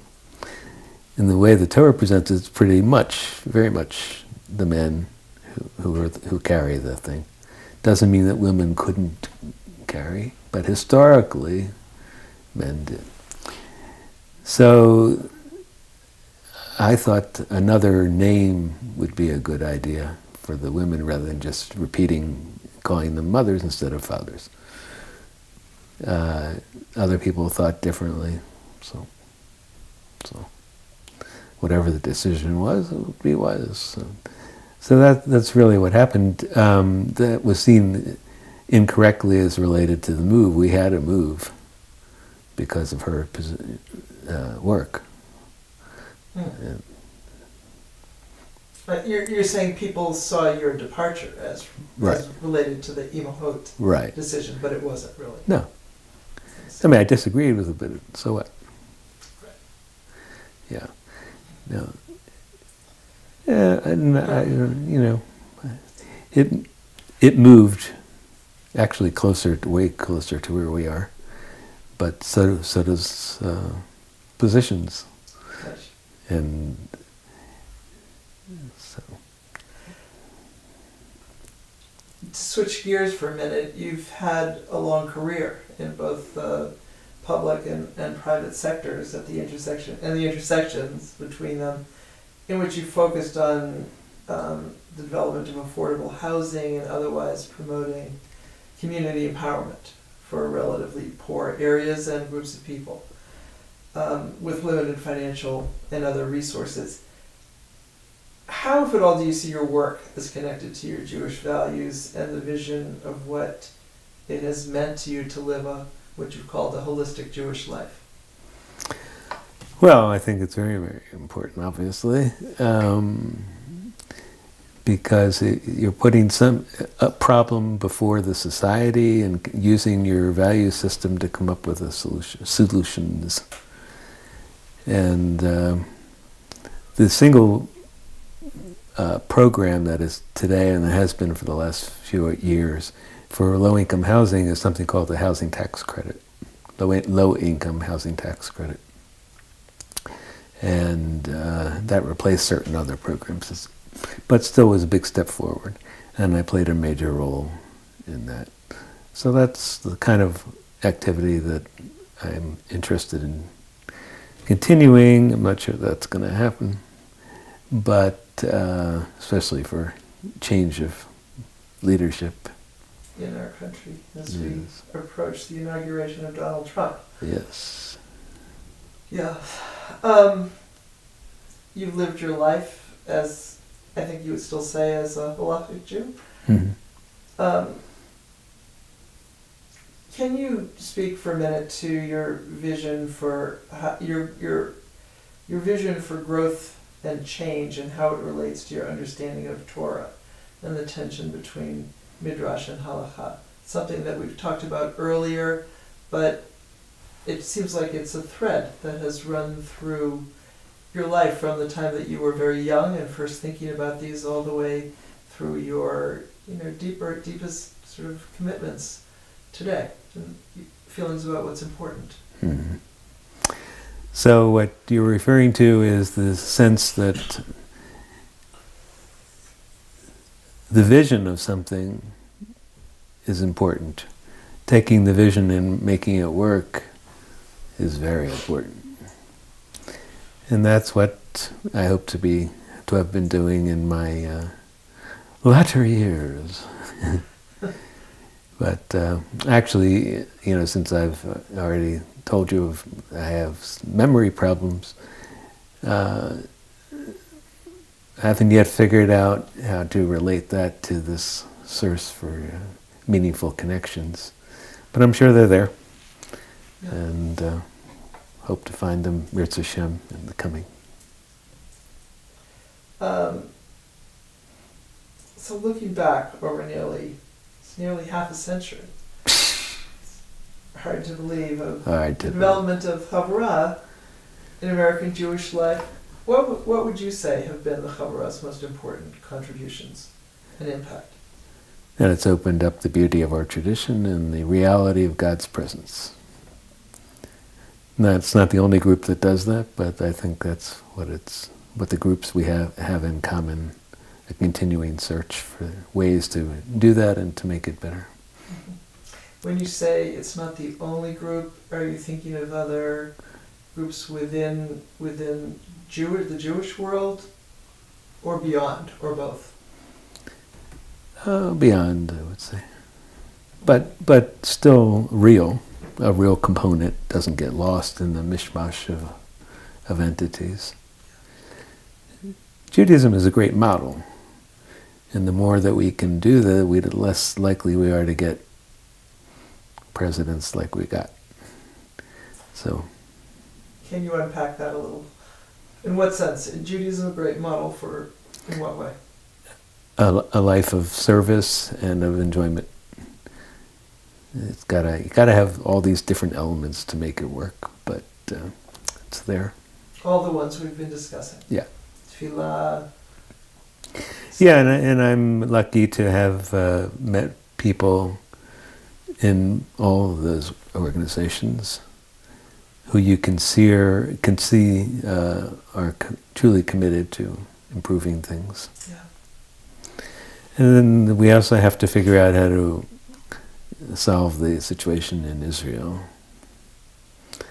And, uh, not easy. Not easy.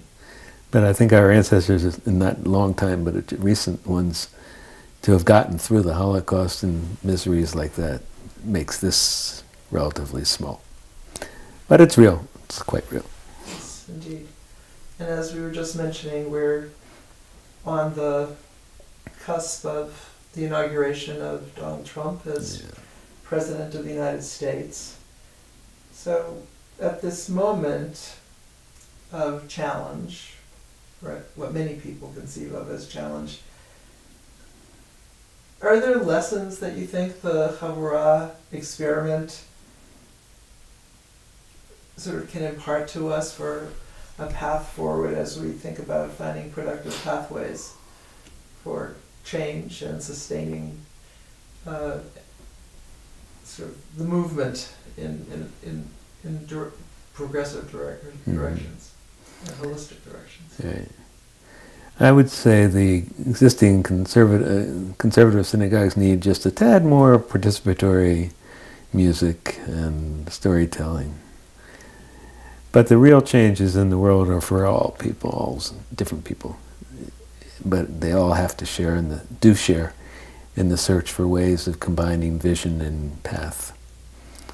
And we uh, we have had it for a long time. We, we can help teach that that it isn't either, or, either or, and it doesn't uh, depend on charismatic leaders It depends on all of us feeling the need and the great opportunities to change aspects of life in the world. Given the energy that you feel around you now, does that leave you feeling optimistic or not? Uh, you know, I think who knows, but uh, he may actually des- desire to make a greater influence, and to do that, he's got to change, be closer to the rest of us. So, for that reason, it could work. Okay. From your mouth to God's ears. You hear that? Thank you so much. Thank, Thank you. you.